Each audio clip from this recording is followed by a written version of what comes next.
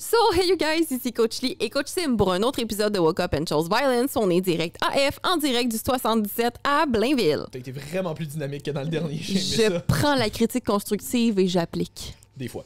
Des fois. Fait que, euh, Aujourd'hui, une nouvelle invitée qu'on n'a jamais reçue parce qu'il y a deux semaines, c'était des, euh, des anciens invités vieux et crasses. Euh, fait que aujourd'hui, Hugo le Cavalier, comment ça va? Ça va bien, vous autres? Ouais, Ça va bien, merci. Merci de t'être déplacé de Laval pour t'en venir ici. Tu m'avais déjà invité deux fois à ton podcast. Il était temps Ouais. que nous autres, on t'invite aux notes. Ouais. Jess est jamais allé parce que fuck elle. Euh, Personne même. Fait que Hugo, propriétaire de HL Performance aussi, justement, basé à. Laval, veux-tu, euh, avant qu'on embarque dans le vif du sujet, nous expliquer un petit peu euh, t'es qui, vous êtes qui, euh, HL, euh, qu'est-ce c'est quoi votre spécialité? Parce que là, vous avez comme. Je pense que prenez tranquillement une nouvelle tangente. Là. Ouais, ben on est qui, on fait quoi? Euh, moi, je suis coach depuis 8 ans. Euh, je commençais pas à mon compte, pour ça je suis parti à mon compte sans penser que je voulais partir une business, pour ça j'ai parti une business. Euh, au début, on était gros dans la prise de masse, après ça on est allé transfo physique. Puis là, on est en train de se rendre compte que, ok, transfo physique, mais le, le problème, c'est que les gens sont pas constants. Hein? Mm. Euh, mais il y a une raison à tout ça, quand on se met à étudier la psycho. Fait que là, on a comme un, un volet où c'est comme c'est beau, on va transformer votre physique, mais on sait en parallèle qu'est-ce qu'il faut travailler également pour maintenir ces habitudes-là. Puis qu'on travaille le côté psycho aussi euh, en même temps. Je tiens à dire psycho non pathologique. Mhm. Donc pas trop anxieux, ces affaires-là. là. Plus comme le cerveau, comment il fonctionne. C'est ça, fait que une des raisons pour lesquelles euh, je voulais que, que tu viennes ici aujourd'hui et que Jess a failli spoil avant- en, en behind the scenes avant.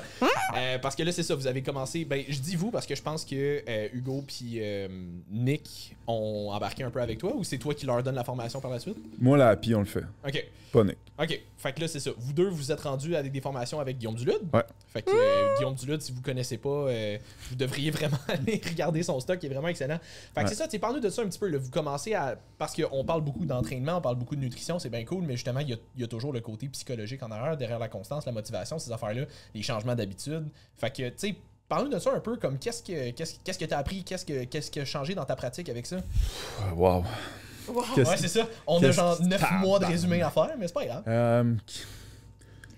Premièrement, qu'est-ce qui t'a amené à. amené, ouais, Ouais. consulter Guillaume? Qu'est-ce que tu- qu'est-ce qui a fait que tu t'es dit, ouais, euh, je m'en- je suis capable de faire des bons plans d'entraînement, je suis capable de faire des bons plans alimentaires, il faut que je travaille vraiment sur le côté euh, mental. Ouais.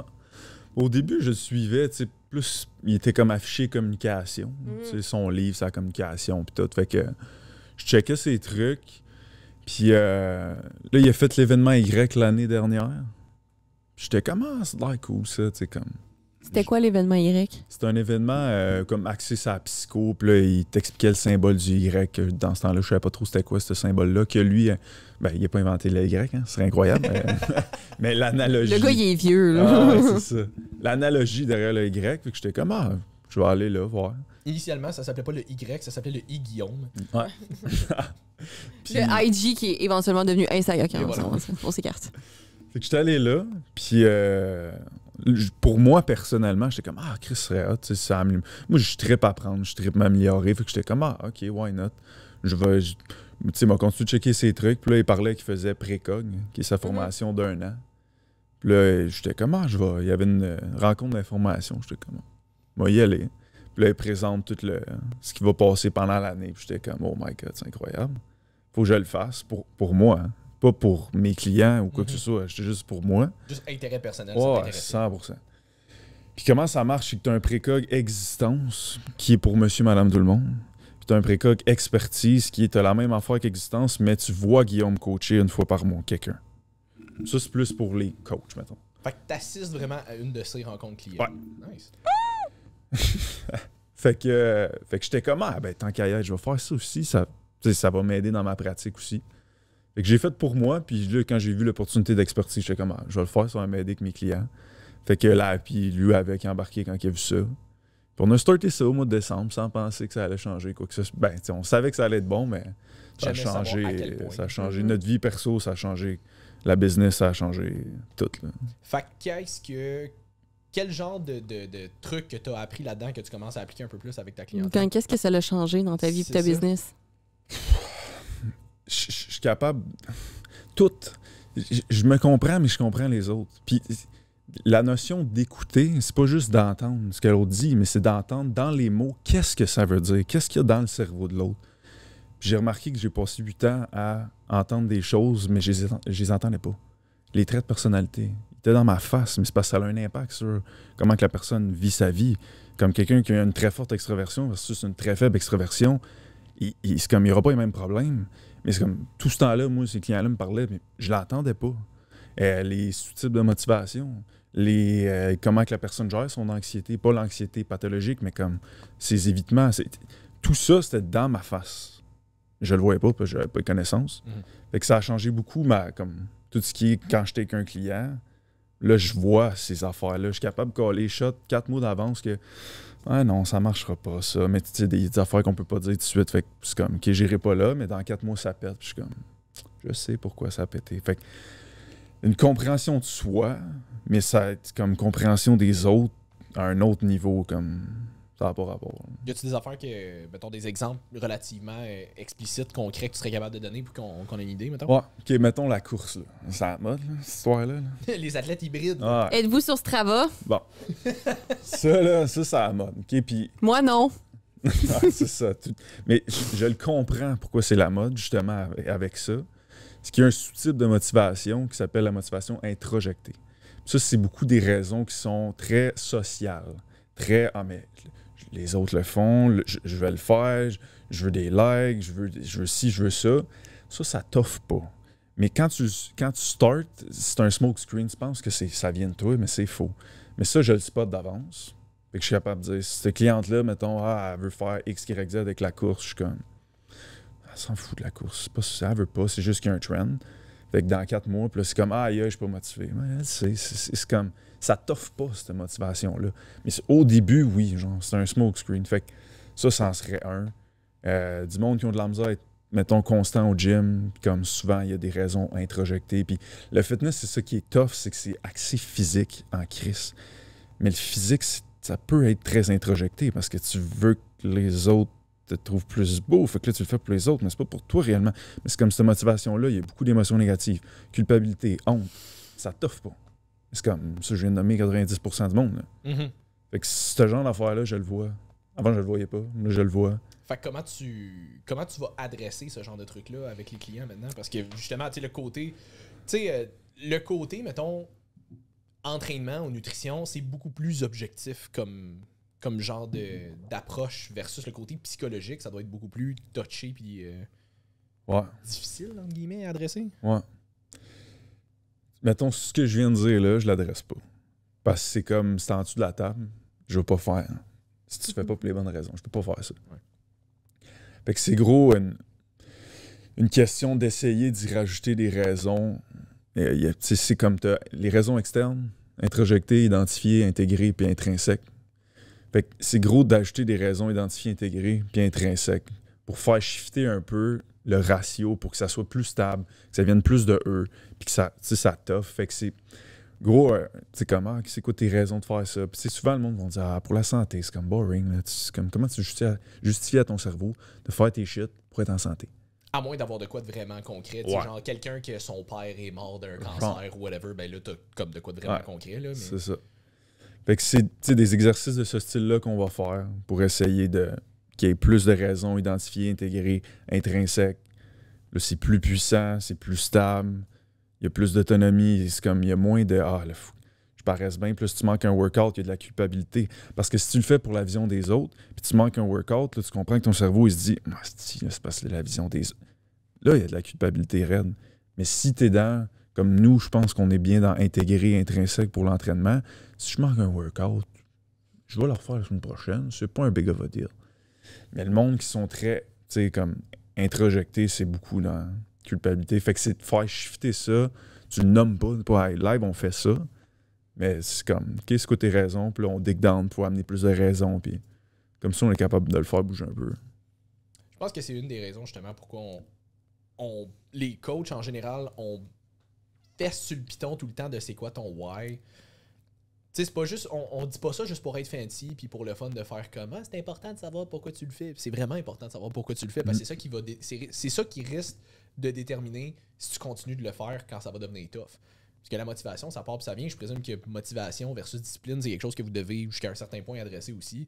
Mhm. Sais, À un moment donné, ta motivation, ça part puis ça revient, même quand c'est des affaires qui, qui te tentent vraiment beaucoup là, fait ou qui te tiennent vraiment à cœur. Fait si tu le fais pour des raisons qui sont vraiment fortes, vraiment importantes pour toi, il n'y a rien qui va être capable de, de, de te dérailler de ça. Versus si tu le fais toujours pour des raisons qui sont pour les autres ou des affaires comme ça, maintenant, ça sera probablement pas assez fort pour te faire toffer. là. Mais l'affaire, c'est que les gens sont pas conscients qu'ils font pour les autres. Il est là le bug. C'est que c'est.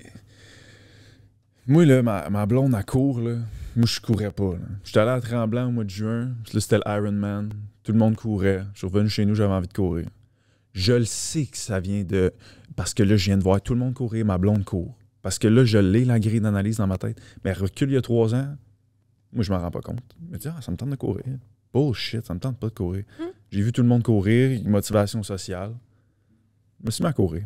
Fait que les, les gens, ils, ils- ils vont dire Ah, mon why, c'est pour la santé. Puis, tu sais, même si c'est comment, je, je sais pas, j'ai dans ma famille, j'ai plein de diabète, puis je veux pas que ça m'arrive, ça reste une raison extrinsèque. Tu as peur d'une conséquence.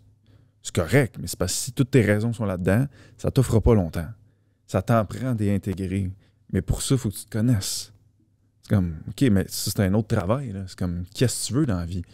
Qu'est-ce que tu veux vivre? Puis, là, c'est complexe. C'est pas juste ça. Putain, un why. C'est comme, OK, ouais, Chris, je faisais comment? Avoir un why? Qui suis-je? Comme, faut que tu saches t'es qui là, pour avoir un why. Puis c'est comme, plus t'as de raisons, plus ça va être puissant. Puis plus c'est des raisons intégrées, intrinsèques, plus ça va être puissant. C'est pas grave si c'est une coupe de raisons introjectées puis externes, mais si tout est là, ça va être tough. Fait que le why est important, mais c'est vraiment d'en avoir plein. C'est comme, au-delà du fitness, qu'est-ce qui est important dans ta vie puis qu'est-ce que tu vises? Mais comment le fitness va t'aider à faire ça? OK, mais là, tu ajoutes plein de raisons identifiées qui ont plus rapport à Ah ouais, mais là, l'été, c'est à la beach. Puis là, je vais faire une compé, puis là, je vais mettre mes photos sur Instagram. C'est- Fait que c'est surtout ça. hein. C'est comme d'aller chercher plus de raisons qui viennent de toi, de choses qui sont importantes, puis que tu veux viser haut. Puis j'en pense souvent avec les clients à ce temps-ci. C'est comme, faut que ça, tu m'en parles, puis que tu aies des étoiles dans les yeux. Ah, je veux le faire pour la confiance en moi. Tout le monde dit ça, Chris. Tu vas faire quoi de plus avec cette confiance-là? C'est ça que je veux que tu me dises. Ah, je vais, je sais pas, je vais me donner le droit d'aller monter le mont Kilimanjaro. OK, mais arrête de me dire que c'est pour ta confiance. C'est pour monter le mont. Là, tu vas être capable de justifier à ton cerveau de te faire chier à me faire tes steps, à aller au gym. Tu vas avoir confiance, comme. Il comprend pas, lui, c'est quoi cette histoire-là. là? Mais c'est parce que juste dire je vais avoir plus confiance en moi sans associer qu'est-ce que cette confiance-là va te donner de plus, ça te sert à quoi d'avoir plus confiance en toi si tu fais rien de plus avec? Tu sais, c'est comme dire Ouais, j'aimerais ça avoir un million de dollars. Tu vas te payer quoi de plus que tu n'as pas aujourd'hui avec ton million de dollars? Pourquoi tu serais plus heureux avec un million de dollars que tu serais aujourd'hui finalement? Tu sais, fait que Ouais. si t'as rien, passer ça, ça sert pas à grand-chose. hein. Mais c'est aussi que la confiance en soi, c'est subjectif puis c'est intangible. Je veux dire, ta Oui. définition d'avoir confiance en toi, ma définition d'avoir confiance en moi, sa définition à lui, ça peut être trois définitions complètement différentes. Ouais. Fait que c'est un concept qui est beaucoup trop abstrait pour que ton cerveau soit capable de- d'identifier des actions précises en lien avec confiance en soi. Ouais. C'est comme, ouais, mais ça veut dire quoi? Oui, puis ça, c'est une affaire qu'on avait parlé relativement récemment aussi, mais tu sais, la confiance en toi, c'est spécifique à un contexte aussi. Mm. Tu sais, mettons, nous, on a confiance en nous en termes qu'entraîneur parce qu'on est là-dedans depuis des années, on sait qu'est-ce qu'on fait. On, tu sais, t'as probablement dû écouter le dernier podcast de Hormozy à Modern Wisdom, mais tu sais, ça, c'est une affaire qui dit, tu sais, avoir confiance, c'est avoir une- un haut niveau de certitude que ce que tu veux qui arrive, arrive. Fait que nous autres, on a confiance en nos capacités en termes de coach parce que ça fait assez d'années et de clients qu'on voit. Ça fait assez d'années qu'on est là-dedans et de clients qu'on voit qu'on on a une très bonne certitude que quand on fait quelque chose, on s'attend à ce qu'il arrive un résultat X. Mais tu sais, c'est pas parce que je suis confiant en tant que coach que je suis confiant dans mes capacités de faire du macramé, mettons. Comme, jamais fait ça de ma vie, pas mal sûr, m'a faire un mess. Ouais. Fait que, tu sais, avoir confiance en toi, OK, à quel, de- à quel niveau, dans quelle sphère de ta vie que tu vas avoir plus de confiance en toi si tu es plus en shape? Parce que, encore une fois, OK, peut-être que tu vas être plus confiant quand tu es à la plage, mais tu vas à la plage combien de fois dans ton année finalement? tu sais? Tu sais, tout le monde dit je vais être beach ready. Honnêtement, mais c'est pas baigné une calice de fois cet été. Peut-être une. Euh, ouais, je me suis baigné une fois cet été. Je peux pas dire que ma shape beach ready, je l'ai exploité tant que ça. tu sais. Ouais. Fait que, ça, à quel point est-ce que tu vas vraiment en avoir besoin? Fait que ça, ça te prend quelque chose de beaucoup plus tangible. Ouais. Ouais, la confiance en, en soi, c'est quoi? C'est comme. Ou l'estime de soi. Là. Personne n'est capable de nous dire. Personne capable de mesurer ça scientifiquement au niveau d'estime. C'est comme. C'est flou. Puis quand c'est flou, le cerveau, là, c'est encore lisse. Que Ouais, ça soit précis. c'est pas stable non plus. Tu sais, je veux dire, il y a des périodes de ta vie, autant que c'est contextuel, autant que ça peut être contextuel dans le temps de là, je me sens bien. Tu sais, là, je, je vais prendre meilleur exemple, le cycle menstruel d'une fille. Il y a une semaine dans notre cycle, hormonalement parlant, goddess, comme God complex, je suis la plus belle. Et tu retrouves la même fille une couple de semaines plus tard, tu as juste envie d'être en hoodie dans une doudou à rien faire, puis genre à pas te maquiller, puis avoir l'air dégueulasse pendant une semaine, puis tu te sens pas bien. Tu te sens. Je veux dire, t'es es la même personne, il n'y a pas grand-chose qui a changé, à part de un, ta fluctuation hormonale, puis de deux, ben là, ta confiance à cause de ta fluctuation hormonale. Fait que de dire, je je veux avoir confiance en moi, encore une fois, c'est que c'est tellement flou parce que autant dans le temps que contextuellement, tu n'auras jamais une confiance égale partout. Fait que si tu dis, ben je vais mettre en shape pour avoir tout le temps confiance en moi, t'es comme, mais de un, tu risques d'avoir du body dysmorphia de temps en temps pareil parce que ta shape, tu jamais un 100% de contrôle dessus. Il y a des journées, tu vas être plus bloaté. Il y en a d'autres, tu vas faire plus de rétention d'eau. Il y en a d'autres que eh ben, tu as peut-être moins bien dormi. Tu vas être plus cerné. Tes cheveux se placent pas. Peu importe. Fait que si ta confiance en toi ne résulte que par tes résultats physiques, c'est quelque chose que tu pourras pas soutenir de toute façon dans le temps. Fait que j'aime vraiment le point que tu as apporté, que moi, c'est ce que je travaille avec mes clientes depuis des années. Puis moi, ça fait des années que je travaille le psychologique avant toute chose parce que, comme tu le mentionnes, le monde ne sont pas constants. Puis ce que j'aime, c'est. Ils sont va- cons, mais ils sont pas constants. c'est ça. C'est on va bâtir, on va utiliser ton processus de transformation physique pour atteindre les objectifs que tu veux dans ta vie. Comme ta body recomp, je dois la créer autour de la vie que toi tu veux mener. Mhm. Ce qui veut dire que peut-être que les actions que j'aurais prises avec ta voisine seront pas les mêmes qu'on va prendre pour toi. Pourquoi? Mais parce que tes objectifs intrinsèque, ta motivation intrinsèque n'est pas la même que ta voisine. Fait que pour toi, peut-être que cette méthode-là va aller mieux que celle-là pour ta voisine. Simplement parce que vous ne voulez, même si visuellement vous voulez arriver à peu près au même objectif, ce n'est pas pour les mêmes raisons dans ta vie. Toi, tu veux jouer avec tes enfants plus tard, tu veux être capable d'avoir un équilibre de vie, tu veux profiter de tes soupers. Elle, ben, elle veut être capable de euh, s'entraîner dans ses voyages d'affaires, euh, de pouvoir être active tout le temps n'importe où dans le monde. C'est pas la même chose, c'est pas les mêmes modes de vie, donc ça ne sera pas les mêmes méthodes non plus. Puis t'as dit de quoi de bon? Euh, parce... On en Ça profite, m'arrive, on en profite quand ça profite passe. pendant que ça passe. Mais c'est- un autre introjecté, c'est le, sous-type de motivation le plus complexe parce qu'il y a- un côté social, mais il y a un côté aussi pression interne que tu te mets toi-même. Fait que de, vouloir être en shape pour être confiant, là, on s'entend que ta confiance dépend de ta shape. Fait que là, si tu vas pas t'entraîner, tu comprends que le cerveau y associe que, oh, là, je suis en train d'affecter la possible. con- Ça, ça peut pas être ça, là. Ah, je veux faire. euh, je fais une compé pour euh, augmenter l'estime de moi, mettons. Être fier de moi. C'est souvent ça que j'entends. Être fier de moi. Mais là, c'est parce que l'atteindre cet objectif-là va faire en sorte que ça passe sous sa cause, point de vue fierté personnelle. Chris, ça marche pas de même, là. Mais c'est pour ça que là, tu manques un workout, tu te sens coupable, t'as honte. On est dans un introjecté, ça. Ça, ça t'offre pas, très fluctuant, puis là, c'est comme, ah, je suis pas motivé. Ah. Voilà. C'est tellement important de comprendre, puis de, parce que tu l'entends. Le client parle, tu l'entends. Tu sais son, où ses raisons. Que de faire shifter ses raisons identifiées, intégrées. Puis intrinsèque un peu. Encore là. L'entraînement intrinsèque, rarement ça. Pour vrai, là, comme. Tu il y en a que oui, là, mais moi, comme il y a des petites partielles. Mais si je m'entraîne et ça fait rien à ma shape, m'entraîne-tu exactement de même? Je pense pas. Fait que, donc, c'est pas intrinsèque. Sinon, l'intrinsèque, c'est je fais l'activité, puis dans l'activité, j'ai ma récompense. Ouais, c'est ça. Tu sais, mettons, tu t'en vas jouer au tennis. Tu joues au tennis parce que t'a- t'apprécies jouer au tennis. C'est dans le Je fais tennis. du Muay Thai parce que Parce j'aime que ça. t'a- t'apprécies faire du Muay Thai. Mais il y a quand même un élément où est-ce que même si t'apprécies l'activité, tu t'attends à avoir un certain. Tu t'attends à t'améliorer quand même un petit peu là-dedans. Oui. Oui, mais c'est que pas, pas ta shape. Tu sais, dans le sens ça. que versus l'entraînement, c'est que, mettons, moi, tu me dis, même affaire, tu me dis demain matin, tu t'en vas justement dans le gym faire un, un entraînement typique style bodybuilding, Ouais. puis t'as pas de résultat, là. Ça amène rien à ta shape. Ouais. Te confirme que j'arrête demain matin. Ouais. Par contre, Le MMA, je le fais pas parce que j'attends un objectif physique. Tu vas en avoir, Non, mais mais- sans que ça soit physique, mais tu t'attends quand même de semaine en semaine à te voir t'améliorer oui, au Muay Thai, par exemple. oui, mais c'est que c'est pas lié à ta shape, c'est ça l'affaire. Non, non, Ouais. définitivement. Ah, exact. C'est pour ça que je, moi, j'ai pas peur de le dire. que je- C'est pas intrinsèque, là, l'entraînement. là. Il y a des petites partielles, j'aime ça. Sinon, je, Chris, je m'entraînerais pas, là, mais, mais s'il y avait aucune shape qui revenait de l'autre bord, est-ce que je ferais exactement ce style de workout-là? Probablement pas. Mais c'est pas grave, c'est juste. Non, non, c'est juste, c'est pour mentionner que c'est Exact. pas intrinsèque. Non, non, c'est rare. là. J'ai C'est- rarement vu du monde, c'est comme. Dans l'activité de s'entraîner, c'est intrinsèque. Il y en C'est a, ça. là, mais c'est rare. Ça serait quoi pour toi, mettons, une- une des, des, des motivations intrinsèques, intrinsèques pour s'entraîner que le monde aurait?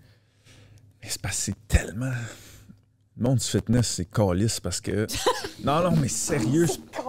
Même pour nous, les coachs. Parce que là, tu te dis, si je suis plus en shape, là, je montre plus l'exemple, là, je vais avoir plus de clients. Ça, c'est introjecté. Fait que Est-ce que c'est tough? de- T'es sa fine ligne de. Faut, faut que je décroche la shape, mais en même temps, c'est comme. C'est ça que j'utilise pour vendre. Surtout en tant que coach, c'est un peu ta carte d'affaires. là.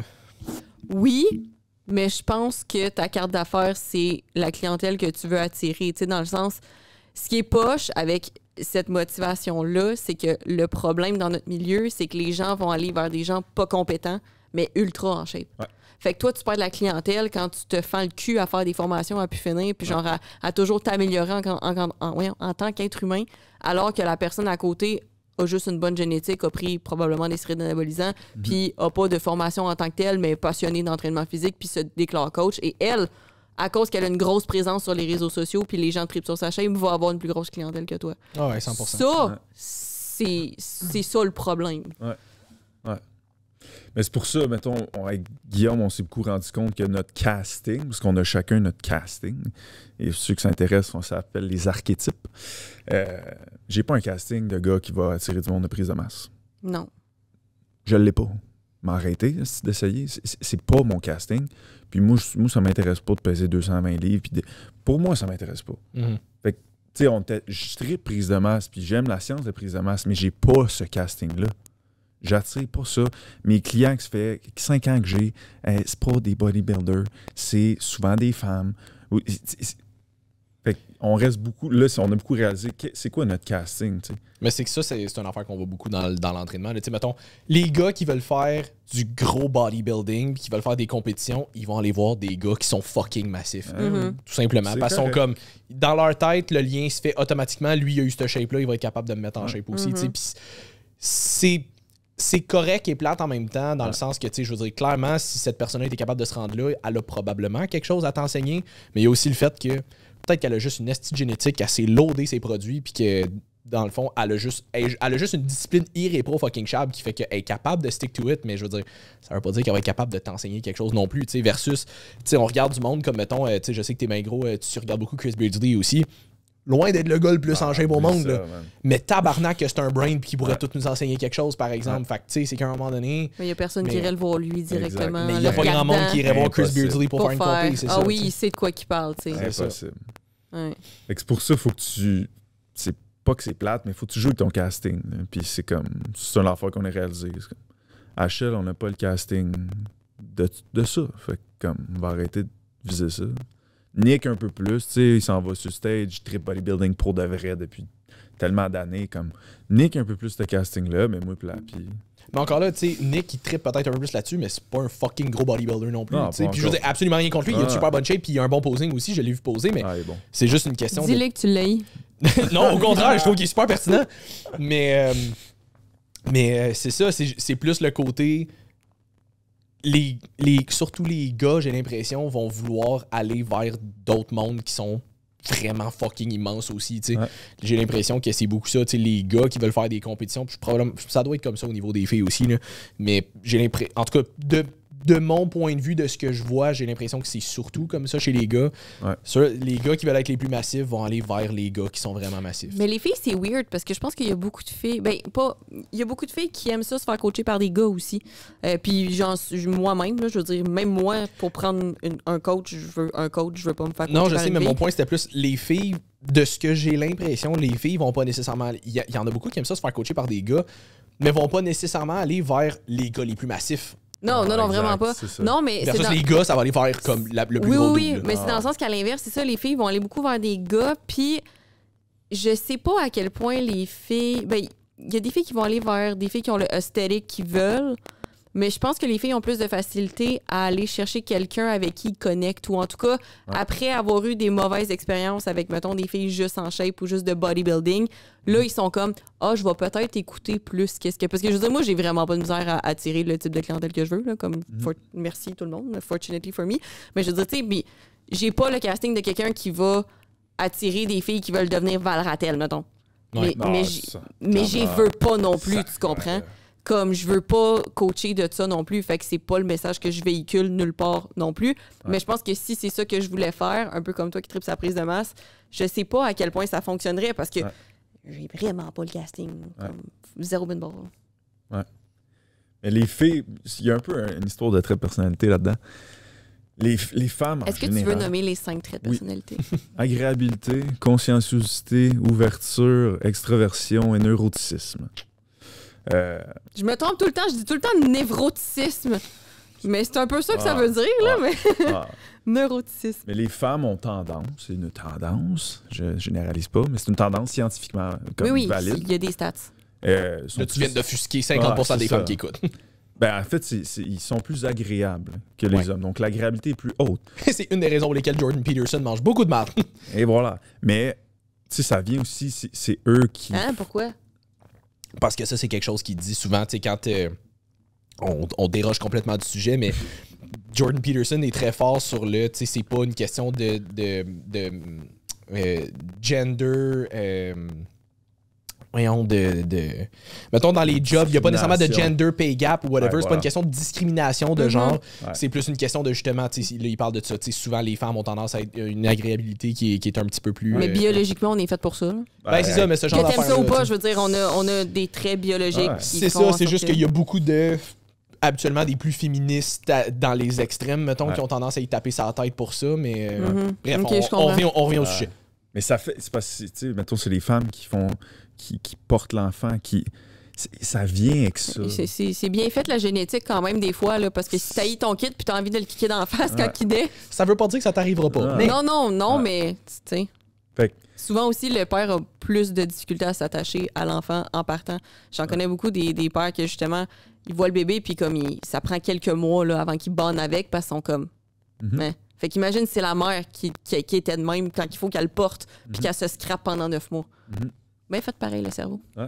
Ça, c'est des tendances. là. Il, comme, il peut Oui. avoir un homme très agréable, une femme très désagréable. Oui, oui. C'est comme. Il est désagréable dans le trait et non dans Oui et non. Oui, c'est ça. puis c'est- jamais, c'est jamais on-off. C'est un Non, ratio. Ouais, c'est juste à quel point est-ce que tu l'es. C'est ça, Ah, exact. ben ouais. Mais ça, dans le sens où si les femmes ont tendance à être plus agréables, ben, ils, ils- ils aiment plus le côté relationnel. Mais s'ils veulent un coach, puis un gars c'est moins agréable, un gars s'en calisse un peu plus la relation. Fait que ce que je suis tant surpris que les gars vont peut-être plus aller vers moi, on va pogner le coach le plus gros, c'est ça que je veux, puis je m'en fous qu'on n'a pas une connexion.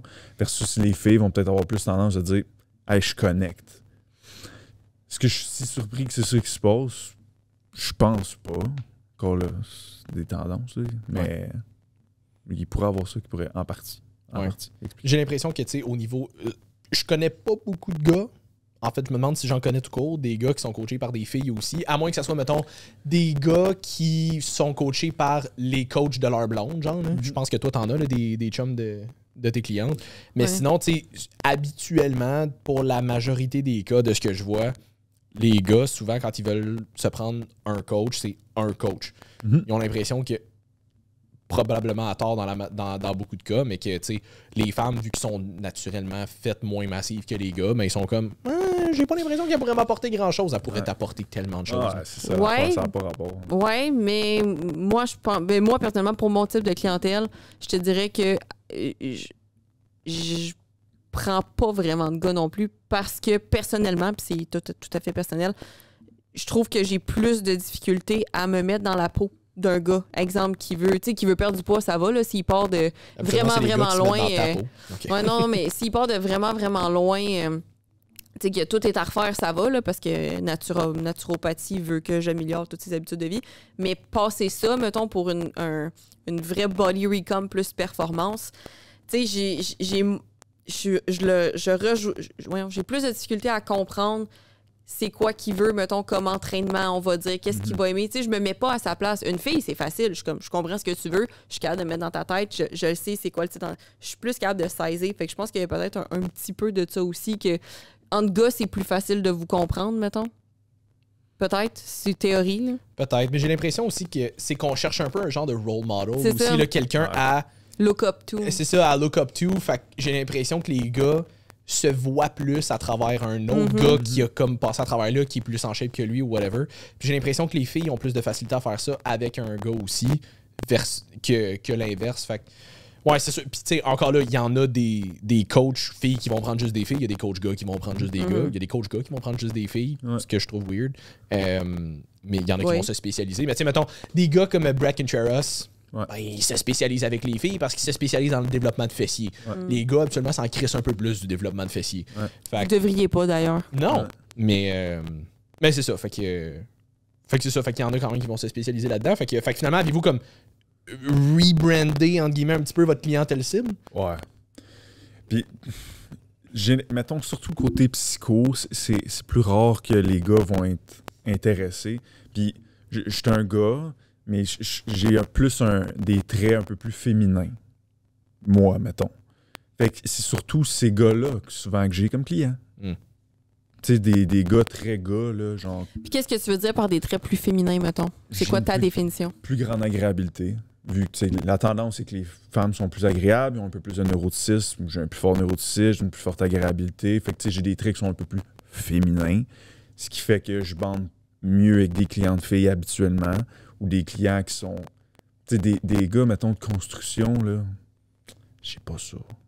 Je n'ai jamais eu, puis si j'en ai eu, ça t'offre pas.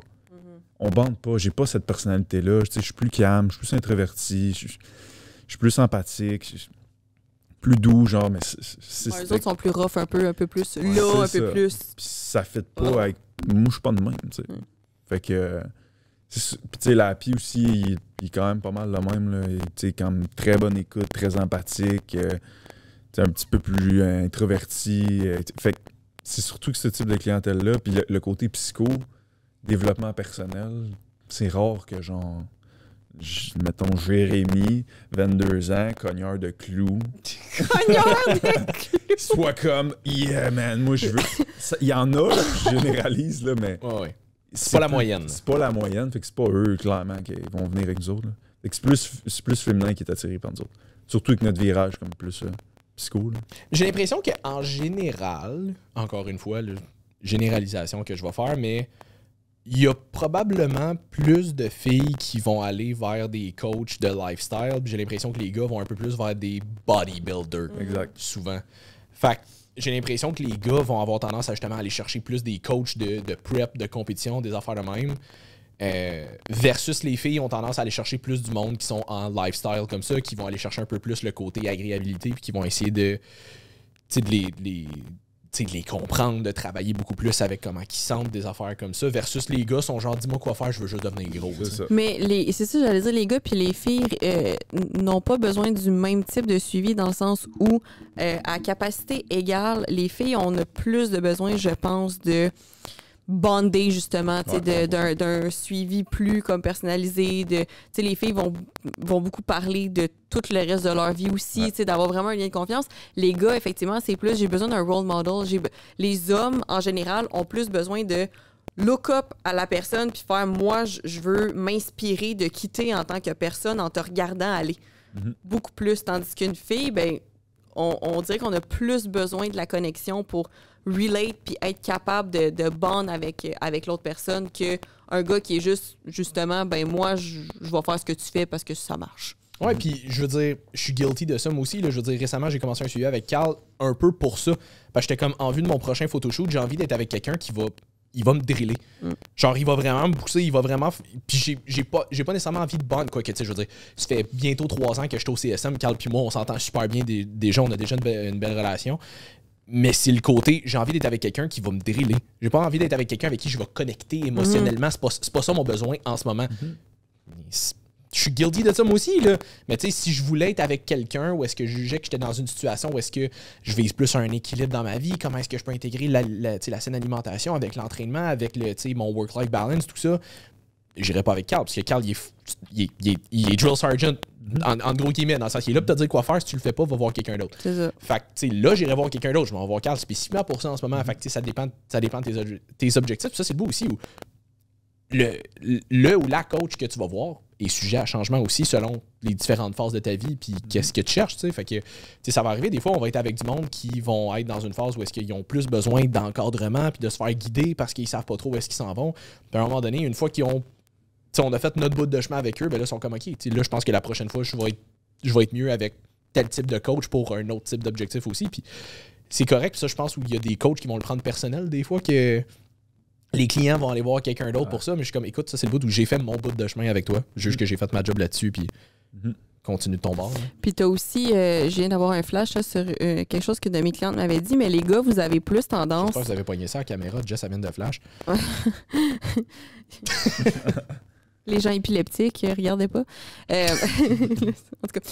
Mais ouais, que, que les, les gars, en général, il y avait eu un mime là-dessus. euh, quand vous voyez, exemple, les, des gars qui regardent des animés, c'est tous des super gros gars, puis tout. Puis vous autres, vous avez plus tendance à regarder ça en faisant Je veux être ce gars-là. Je veux shape à Goku. Tandis que les filles vont plus avoir tendance à regarder une fille vraiment bien sculptée en shape, puis se remettre en question, se diminuer, se dévaloriser parce qu'elle ne ressemble pas à ça. Fait que je pense qu'il y a un peu de ça aussi. J'avais une de mes clientes qui m'avait dit que elle hésitait vraiment à, avoir une coach fille parce que justement, ça lui faisait comme perdre confiance, mettons. Tu sais, de un, parce qu'elle avait déjà, je- si je me suis mis, pogné une coach qui était comme vraiment sévère, puis legit qu'elle diminuait, puis que- qui disait qu'elle allait rester de même si elle faisait pas ses efforts, puis blablabla. Full On les aime, ces coachs-là. Calice. Hey, quand j'entends des affaires de même, je suis genre, comment tu. En tout cas, je, com- je comprends pas pourquoi tu fais ce job-là si t'es pour parler de même à quelqu'un. là. Puis des fois, ça part d'une bonne intention de j'essaie de la motiver, mais à un moment donné, vous devriez prendre un peu plus de cours en psychologie pour saisir vos clients. J'allais dire, jusqu'à un certain point, le drill sergeant, ça peut fonctionner avec du Oui, monde, mais, plus souvent qu'autrement, ça va les faire step back plus qu'autre chose. Ben, tu sais, fait que. C'est puis la il y a- pire chose. Puis il y, a des- il y a des façons, tu sais, moi, je, je vais l'être des fois pour faire un. un- Tu sais, je dis tout le temps, je te donne une claque d'en face, mais je te flatte après. Tu sais, c'est comme. Là, tu avais besoin de te faire réveiller, mais. En, en toute gentillesse, puis je connais les limites de mes clientes aussi. Fait que, mais il y a un peu de ça aussi, je Parce pense. que je les pousse constamment. c'est ça. Mais mais il y a un peu de ça aussi. Je pense que pourquoi les, les filles vont aller vers des gars, c'est que c'est moins confrontant. tu sais. Tu regardes ta coach, t'es comme, OK, mais euh, ma coach, euh, je la regarde aller, puis euh, elle, elle mange bien, c'est facile. La Sandra fait ci, elle fait ça. Moi, je fais pas ça. Fait que les gens ont tendance à se dévaloriser au lieu de se. Ben, les filles surtout, à se dévaloriser au lieu de se motiver. Versus un gars, c'est l'inverse. Il voit le coach et genre, oh, si lui, il fait ça, moi et tout, je vais le faire, tu sais. Je sais pas pourquoi vous parlez toutes de même, là, je m'excuse. c'est ma voix de gars. Moi aussi, je vais le faire! Mais je pense, l'affaire avec les, les drill surgeons, c'est que si- si tu checkes la psycho, ça fait juste pas de sens. Ça, ça marche pas, ça. Très court terme, ça va marcher parce que tu rajoutes une raison externe de motivation qui est Ah là, je veux pas décevoir. Ça t'offre pas, Chris. Fait que, ah, bravo, pendant un mois, ton client a fait ses affaires parce que tu as eu un hard talk. Bullshit. Ça, ça me fâche. Là, je me calmer. Non, mais Vas-y, on est là non, pour ça. Tu choisis la violence. c'est- Avant, j'étais de même, là. quand il est fâché. J'étais comme asti. Ah, faut que tu aies des hard talks. C'est comme. Non. C'est c'est zéro en lien avec la psycho. Tu décalisses tous ses besoins de base. Non, mais c'est ça. C'est ça pareil. Tu as trois besoins de base pour un maximum de motivation et de bien-être. Autonomie, compétence, affiliation. Si tu dis, ah là, fais tes shit, nanana, tu diminues son autonomie. Quand l'autonomie diminue, puis la personne qui a diminué l'autonomie, tu diminues son affiliation, qui est votre relation ensemble. Tu viens de diminuer deux besoins de base. Puis le troisième, c'est? Compétence. compétence. sentiment de compétence, c'est le sentiment que tu as à produire un certain résultat. Fait que si tu y rentres dedans et tu dis qu'il est pas bon, pas bonne, pète ça. Tu viens de péter trois besoins de base de la motivation et du bien-être de l'être humain. Ah, mais c'est bon! Non, mais sérieux. Ça, c'est comme. Bonne stratégie. Ça, là, je suis plus capable de voir ça. Des de vidéos. Là, j'étais au bon podcast parler de même. Là. Oui, vas-y.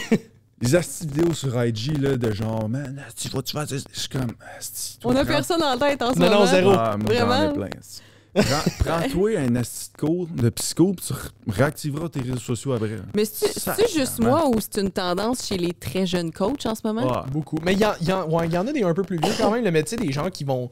Ils vont juste, tu sais, ils se filment avec le sel Oui, là, ça. puis ça fait Ah. juste t'insulter tout le long, puis te Mm. traiter de déchet Ah, parce que t'es pas allé au gym aujourd'hui ou whatever. T'es comme, qu'est-ce que tu penses ça fait? ah, ah, t'es pas. Mais leur préfrontal, il a pas fini de se former encore. Non, c'est ça. Ah, non, non, non. Ça, là. Ah, t'es pas discipliné. Explique-moi c'est quoi la discipline. Tu le sais-tu? Ouais. Non, Chris, il n'y a, pas- y a- pas une définition à côté de la discipline. C'est faire ses shit quand ça te tente pas. OK, mais tu- sais-tu tout ce que ça prend, psychologiquement parlant, pour produire ce résultat-là? C'est ça. C'est pas simple. On n'est pas dans. Il faut juste faire tes shit, travailler ta discipline. OK, mais.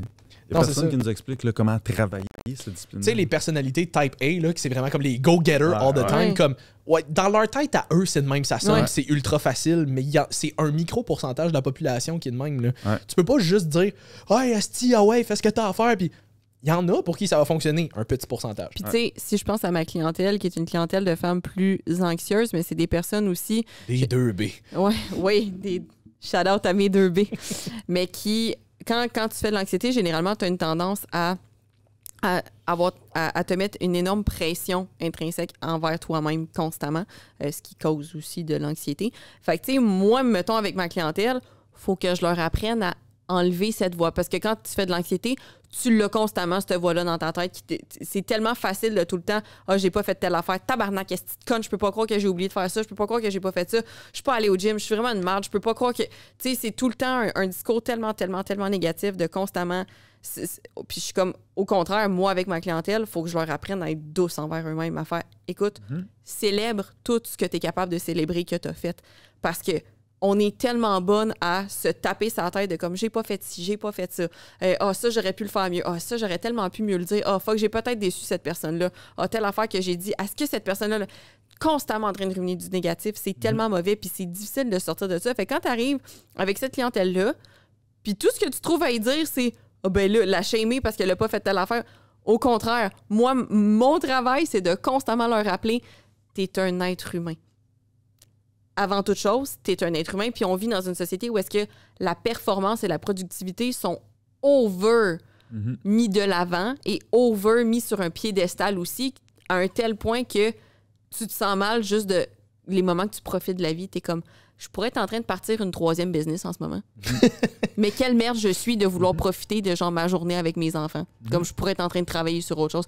Fait que, à un moment donné, c'est encore une fois de, de saisir ton client puis de d'essayer d'enlever ce genre de pensée négative là fait effectivement les discours de ces petits gars là principalement que j'ai vus puis comme tu disais Simon il y a un certain type de personnalité avec qui ça va résonner comme un certain temps qui aime ça, tu sais, de se faire driver plus. Ouais. Tu sais, les types A, ils aiment ça, se faire driver. Je dis pas que c'est quelque chose qui est euh, qui, qui va fonctionner à long terme, mais eux autres, ça va leur donner un petit push, tu sais. Mais c'est vraiment pas tout le monde qui est wired de cette façon-là. Non, c'est ça. C'est que, tu sais, selon moi, les, les hard talk qu'on appelle, pour moi, c'est pas je vais te rentrer dedans, Non. je vais t'insulter, te traiter de déchet pour que tu te feels comme de la merde, puis qu'après ça, tu veuilles mon approbation. Pour moi, un hard talk, c'est juste mettre en évidence les problèmes qui sont là. Ça, c'est d'ailleurs une technique de manipulation. Ouais, c'est ça. C'est ça. c'est très toxique. Mais c'est, tu sais, un hard talk, des fois, c'est juste. Souvent, c'est qu'il y a des problèmes qui sont là, puis soit on essaye de les éviter, Mhm. ou des fois, on n'est juste pas conscient qu'ils sont là, puis des fois, c'est juste comme de les, de les, de les- de les sortir, finalement. Fait que des fois, un hard talk, c'est juste, OK, regarde, le vrai problème, ou les vrais problèmes, là, c'est ça en ce moment. Puis en ce moment, toi, tu fais ça. Fait que, tu sais, c'est juste d'essayer de le remettre en face, puis des fois, c'est, c'est un hard talk parce que ça fait mal de, de voir que finalement, ben. Ouais, ben, je fais de l'évitement en ce moment. Là. Je pourrais comme dealer avec ça, mais je choisis de pas le faire. Fait c'est tough souvent la responsabilisation de comme fuck, c'est de ma faute. Mais le, le hard talk, c'est pas de faire comme t'es un déchet pour pas dealer avec ça. Le hard talk, c'est juste de faire comme regarde, c'est ça la réalité en ce moment. Comment est-ce qu'on peut l'adresser maintenant? tu sais? C'est juste que c'est inconfortable. C'est ultra inconfortable de, de, de toujours devoir se remettre d'en face nos propres mauvaises décisions, entre guillemets, des fois, des fois même inconscientes. Euh, Il y, a, il y a un sujet que Guillaume aborde souvent, puis j'aimerais savoir ton take là-dessus. Tu penses que c'est quoi la place de la victimisation là-dedans? Oh boy. Hmm. Euh, ça, c'est une vraie stat. Je pourrais retourner checker les, les ressources, là, mais il y a un. Entre, je pense que c'est 2000, 2008 et 2019, on a une augmentation de 85% de l'anxiété ressentie chez les jeunes de 18 à 25. Comment qu'on augmente l'anxiété? Par évitement. That's it. Fait que moi, ce que ça me dit, cette stat-là, c'est que 85% des gens évitent plus. C'est ça que Évite ça- plus quoi? ben, tout- avec leurs problèmes. leurs émotions négatives. Fait que leur responsabilité, ils évitent leur de faire. Ils ils évitent, puis ils évitent Distraction. avec ça. Ce qu'il y a là-dessus, bien souvent. Sinon, la bouffe. Sinon, l'alcool. Fait que c'est là le, lien comme. Psycho-fitness, c'est comme. Les gens ont de la misère à suivre le plan alimentaire. Pourquoi? Parce que la bouffe, c'est un renforcement à court terme. Comment tu diminues tes émotions négatives? Avec un renforcement à court terme? C'est comme, va falloir, va falloir aller travailler là. Fait que pour revenir à tes questions sur la victimisation, Guillaume, il avait, avait dit dans un- une formation, on joue à quel jeu? On joue au jeu de mettre le blâme sur l'environnement externe, sur pourquoi on n'est pas capable d'avancer, ou on joue au jeu, Chris, faut que j'avance, j'ai cet objectif-là qui me tente, puis je vais prendre ce que j'ai le contrôle. Puis ça, ça m'avait marqué, parce que c'est ça que les gens font en majorité. C'est comme très, je perds pas de poids, mes hormones. Tu joues à quel jeu ici? OK, t'as thyroïde, mais tu peux faire de quoi pareil? Fait qu'il y a, il y a beaucoup, cette victimisation-là évite la prise de responsabilité. Puis après ça, les gens se demandent pourquoi ils sont plus anxieux. Mais c'est parce la victimisation joue ce rôle-là d'éviter de faire face à la réalité. Puis ça crée cette espèce de. Il n'y a jamais eu autant d'anxiété dans toute la population. Mais pourquoi? Mais l'anxiété augmente à l'évitement. C'est juste ça qu'il faut que tu comprennes. Ça veut dire que toute la population fait juste plus éviter. Comme Ah, mais non, faut, tu te sens bien, moment présent, bien-être. Mais oui, Chris, qu'est-ce que ça dit, ça, aux gens? J'ai une émotion négative, il faut que je me ressente. Bullshit, qu'est-ce qu'elle dit, ton émotion négative? Faudrait que tu prennes responsabilité dessus. Elle est juste là pour te, te- te- te- t'envoyer sur une mission. C'est ça. Mais non, c'est pas ça qu'on dit. Fait que ça crée, euh, ça crée où ce qu'on en est. C'est ça que je trouve difficile personnellement en tant que quelqu'un qui est généralement pas anxieux. Mhm. Quand j'ai quelqu'un d'anxieux, justement, qui m'arrive avec un problème, un concern, whatever, moi, je tombe immédiatement en... mo- Oui, Jean-Jess. moi, je tombe instinctivement en mode solution. Parce que ma mentalité de personne non anxieuse, c'est t'es anxieux, anxieuse à cause d'un problème. Si on règle le problème, tu seras plus anxieux. Nope.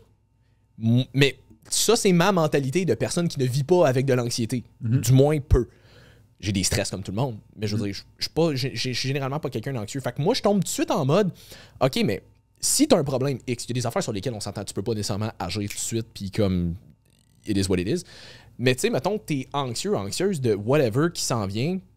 Tu sais, tu es anxieux, anxieuse de je sais pas, t'as l'impression que ta relation avec euh, ta fréquentation s'en va pas nécessairement dans la direction où est-ce que tu veux t'en aller. T'as l'impression que t'es plus investi que l'autre, puis t'es comme, Ah, je sais pas. Puis là, je suis comme, OK, tu y en as-tu parlé? Ben non, d'après moi, ça, Mhm. d'après moi, ça, ça, ça s'en va nulle part. OK, mais peut-être que si tu y en parlais, c'est juste une- un, un malentendu. Finalement, l'autre personne pourrait te rassurer. Puis tu sais, ouais, mais tu sais, c'est- tu sais, moi, dans ma tête, c'est juste, il y a une action très claire, très concrète, que tu pourrais prendre, qui va soit confirmer ce que tu penses, ce qui te cause de l'anxiété, puis ben finalement, écoute, ça va finir là, mais au moins, comme tu vas pouvoir passer à autre chose après, ou pourrait potentiellement te rassurer, puis finalement faire en sorte que, hey, finalement, j'avais pas de raison de me stresser.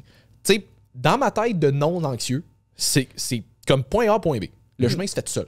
Mais je suis parfaitement conscient que c'est pas le cas Non, pour tout le monde. Parce que ce que tu mentionnes, ça fonctionne pour des gens qui ont qui vivent des stress. Et la seule différence entre l'anxiété et le stress, c'est que le stress, c'est des réactions face à un danger potentiel, alors que l'anxiété, c'est face à un danger imaginé. Mais de peut-être qu'il existe, tu sais, comme c'est c'est ton imagination, puis c'est que c'est pas, c'est pas quelque chose de concret nécessairement. Exemple, t'es stressé pour un examen, c'est concret. Tu peux c'est prendre, de l'anxiété. tu peux, C'est ça que le, le monde bug. Souvent, l'API avait ce discours-là. Non, je suis pas anxieux. Si t'es pas anxieux, il y aurait un calice de problème. Parce que Mm. si t'as pas d'anxiété, t'es pas capable d'anticiper ce qui s'en vient puis de ça. prendre des responsabilités. Donc, t'es anxieux, c'est juste que tu, tu pognes les, les bons cues Ouais. et t'agis dessus. c'est ça. Les gens qui feel anxieux, c'est qu'ils ils pognent les cues puis ils les évitent. Fait que là, la charge anxieuse, elle monte, elle monte, elle monte, puis là, tu le feels. Mais, exemple, tu étais stressé pour un examen, c'est que tu anticipes un, un- un possible dommage psychologique est je pourrais couler. Ça, c'est l'anxiété. Mhm. L'anxiété, c'est un stresseur. C'est ça, des fois, c'est comme Ah, mais moi, je, je vis, je vis de l'anxiété, mais je vis pas de stress. L'anxiété, c'est un stress. Mhm. Ah, mais je vis du stress, mais je suis pas anxieux. C'est parce le- l'anxiété, c'est l'anticipation possible d'un dommage physique ou émotionnel. Puis tes, tes- tes méthodes sont bonnes pour quelqu'un qui vit l'anxiété. Le problème, c'est quand tu rencontres quelqu'un qui vit avec un trouble anxieux. Ouais, c'est ça l'affaire. Ouais. Là, là, ça sort complètement de mes champs de c'est ça. compétences. C'est ça. Un trouble anxieux, c'est un autre game, mais. Parce que c'est ça. Qu'est-ce qui. Mettons, les, les.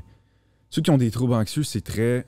Justement, pas ben, imaginatif. Là, de, Oui, oui, c'est zéro rationnel. C'est ça. C'est mille fois dans ta tête. C'est pour ça que là, ça, ça nécessite un psychologue. Oui, parce que peu importe les, les méthodes que tu vas prendre, tu sais, mettons, je vais me prendre moi comme exemple, puis souvent, c'est que tu vas avoir des débalancements au niveau de tes hormones, au niveau de, de, de- ben, surtout de la chimie dans, dans- dans ton cerveau, là, au niveau de tes neurotransmetteurs. Fait que peu importe les méthodes que tu prends, tu sais, moi, je, je vis avec un trouble anxieux euh, sévère depuis que je suis née. Puis c'est que peu importe, puis j'ai tout de suite, je, je l'ai mentionné souvent, mais comme moi, je vais en thérapie depuis que j'ai 12 ans, là, comme j'ai vu ça, j'ai fait, faut que je prenne des actions, puis j'ai heureusement toujours eu le réflexe de confronter ce qui me rend anxieuse. Fait que moi, dès que je vois une situation que j'aime pas, je suis comme, faut que je rentre dedans. De- depuis que toujours, j'ai tout le temps eu ce réflexe-là, parce que j'étais comme, je je peux pas laisser ça mener ma vie. Mais il reste que même en prenant toutes les actions, j'ai pas le choix, exemple, de me supplémenter avec la théanine parce que mon cerveau va naturellement me créer des crises d'anxiété pour rien.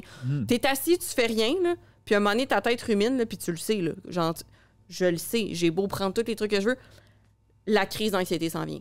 Automatiquement. Je prends la théanine, ça va bien.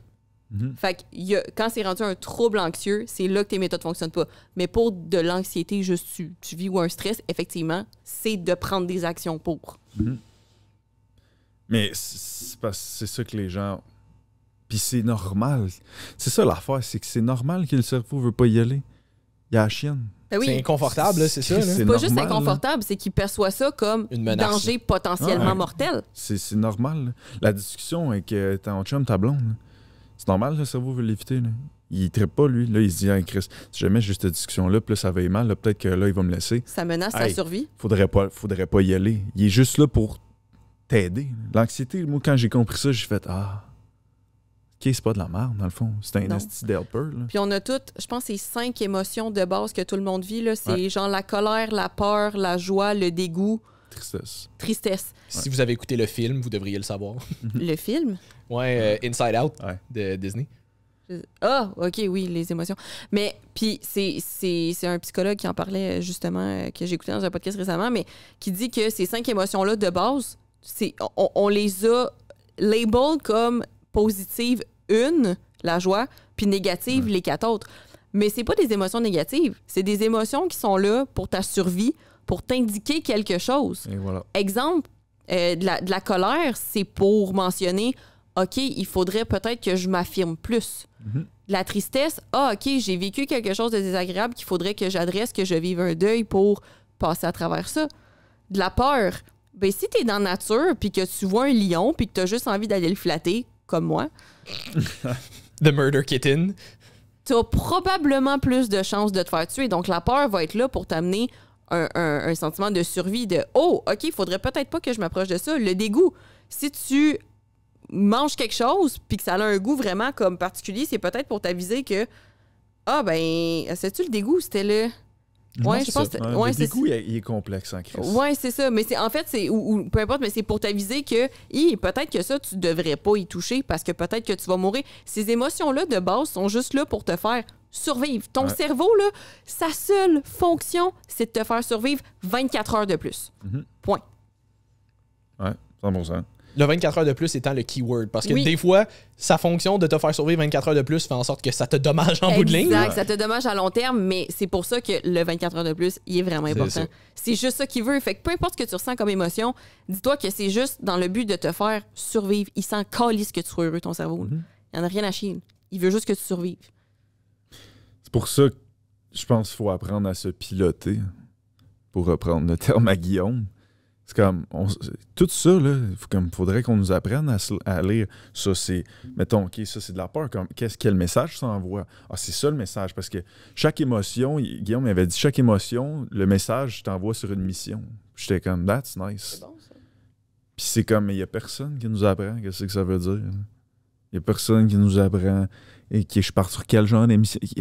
Non seulement personne Zéro. nous l'apprend, mais quand tu es un enfant, puis les parents font ce qu'ils peuvent, mais tu te fais gaslight en tant qu'enfant puis tu as des émotions. là. Mhm. C'est très difficile pour les enfants de, de- de naviguer leurs émotions, puis encore plus quand tu t'es fait gaslight toute ta jeunesse parce que, ben, c'est culture, mœurs, peu importe. là, C'est pas mal intentionné. Encore une fois, je veux pas bâcher les parents.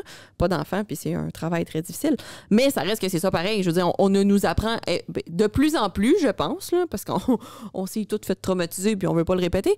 Mais, mais de plus en plus, on, est plus self-aware, mais ça reste que c'est encore très tabou un peu de- des émotions tout court. Ouais, puis tu sais, combien de parents, puis encore une fois, sans avoir de mauvaises intentions, mais à un moment donné, les parents, ils font avec.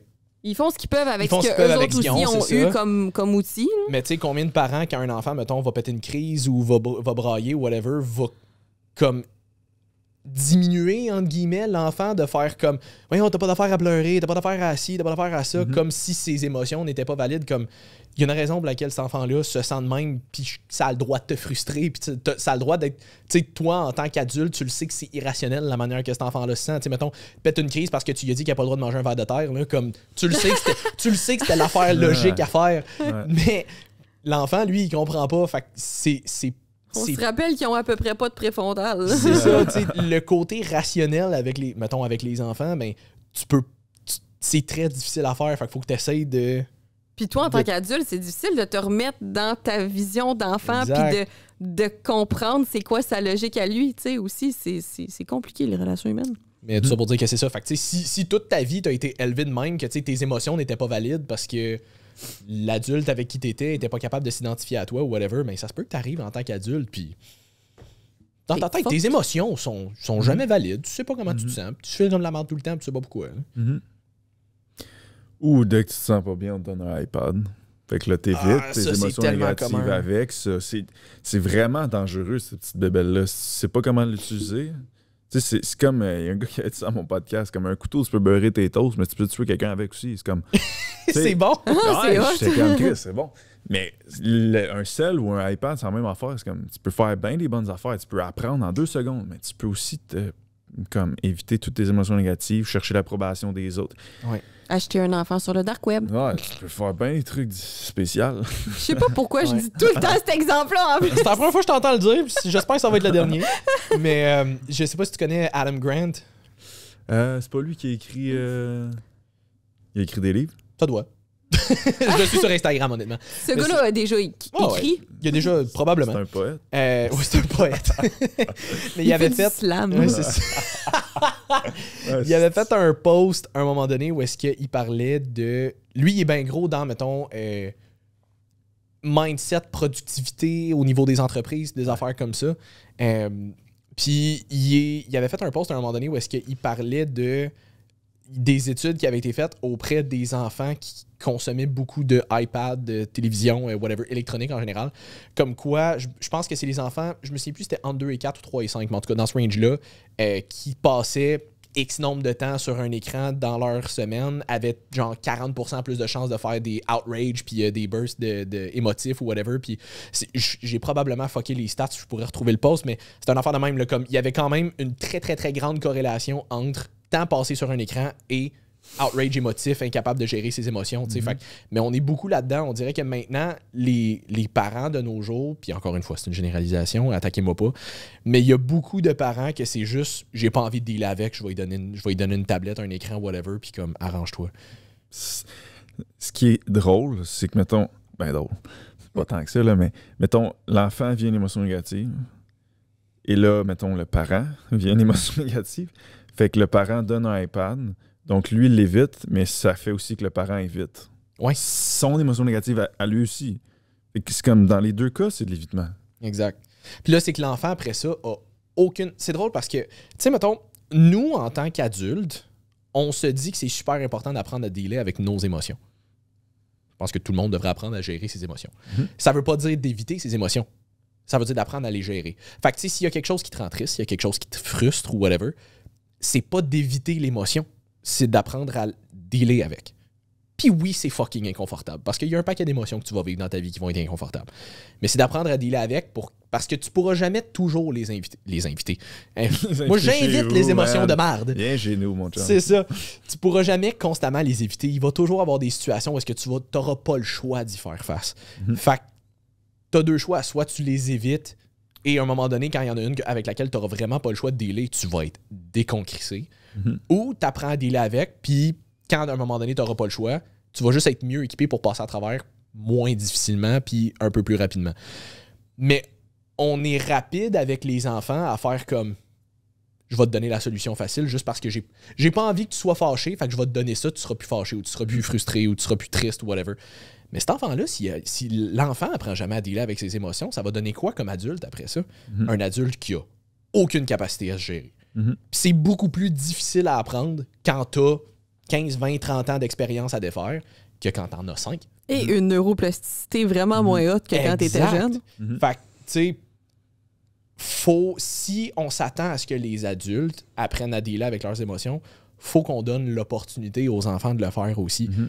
C'est ce qui est tough parce que des fois, on a de la misère à gérer nous autres aussi. Tu sais, veux, veux pas, l'enfant pète une crise, là, c'est rare que t'es ultra calme Ouais, et serein. Et comme, toi aussi, ça vient t'impacter, veux, veux pas, ça te tente pas de dealer avec la crise. T'es peut-être dans une situation sociale où est-ce que là, ben, ça crée une scène, t'as pas envie de déranger le monde, fait que, tu sais, comme ça te met dans une situation awkward aussi.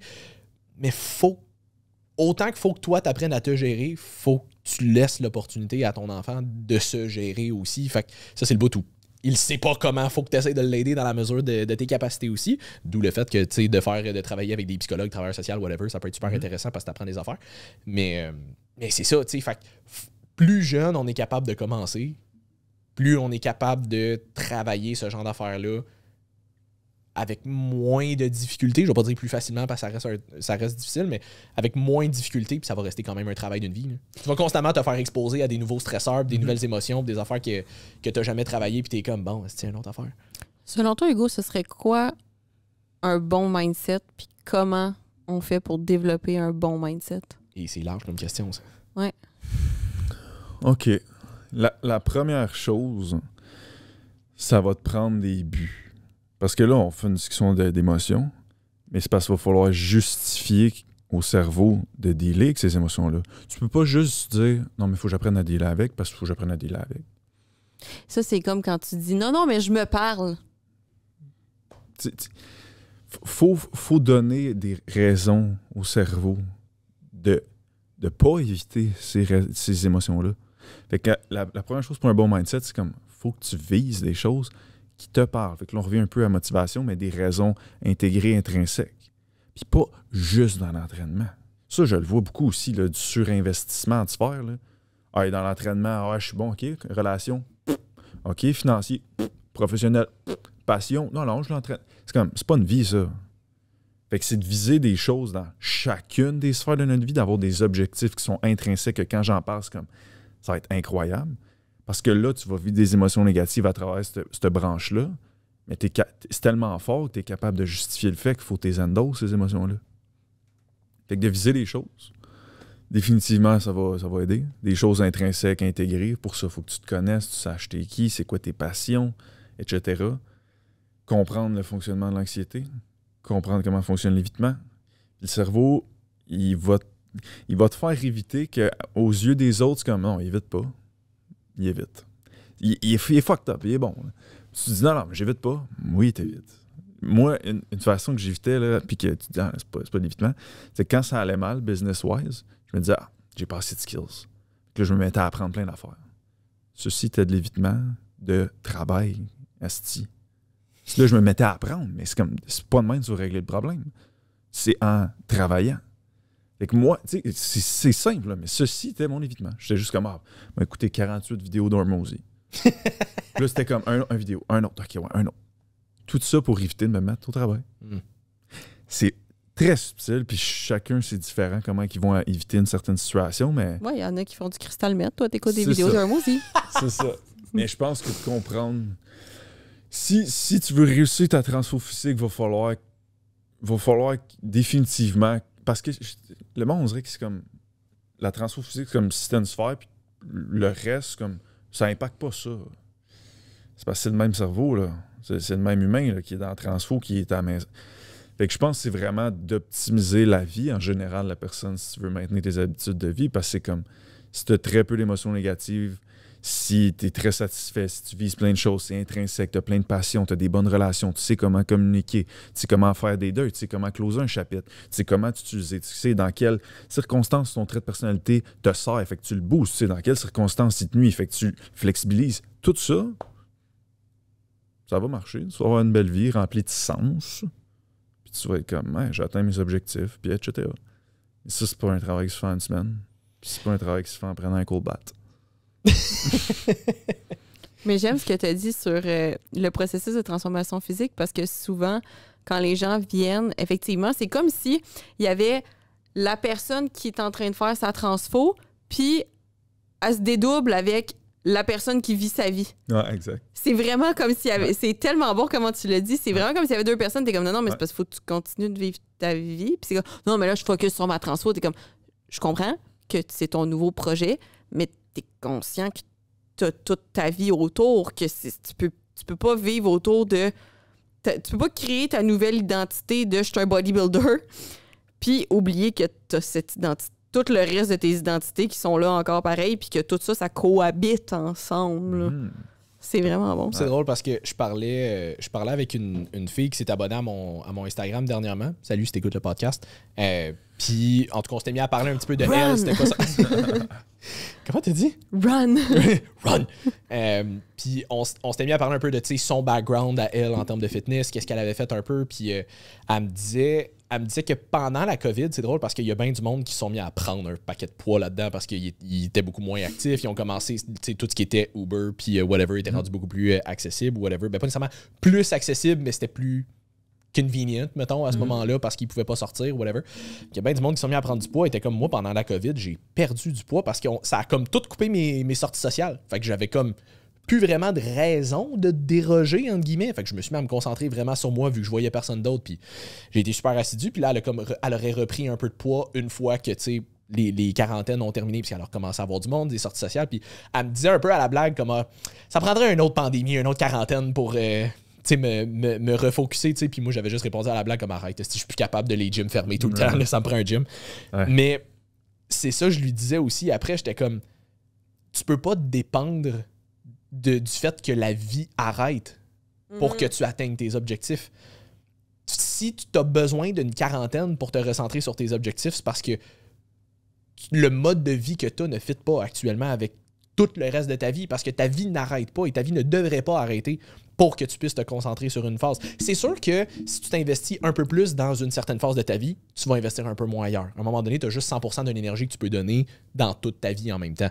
Ceci dit, si pour toi de te concentrer sur, mettons, le fitness, tu veux prendre un peu plus de masse, perdre un peu de gras, whatever, travailler ça, faut que tu sois capable de l'intégrer au reste de ta vie. Il faut pas que tu shut down toute ta vie pour être capable d'intégrer ça. Avez-vous déjà vu le meme, probablement, là, de, des, c'est comme, ah, euh, ça me prendrait juste, genre, euh, un six mois en prison pour atteindre Ouais. mes objectifs, Ah, là? ouais, ouais, 100%. C'est un peu le même principe. Ouais. Ben, c'est un peu ça, mais tu sais, c'est. Là, ça serait un peu forcé, mettons, le shutdown le reste de ta vie. là. Oui, puis je connais des gens qui vont en prison et je vous confirme qu'ils se remettent pas en shape, là. Ah. Comme, ils utilisent pas ce temps-là pour faire le bien, là. Je me souviens plus avec qui j'en parlais dernièrement, mais j'en avais fait un thread à un moment donné, puis j'étais comme, c'est drôle comment il y a bien du monde qui disent, ah, moi, si je passe, si je m'en vais en prison, je vais ressortir de là fucking shred. Tout le monde, après le deux ans de quarantaine de COVID, qui ont pris 40 livres, sont comme, bah, finalement, peut-être pas. Ouais, c'est ça. Ouais.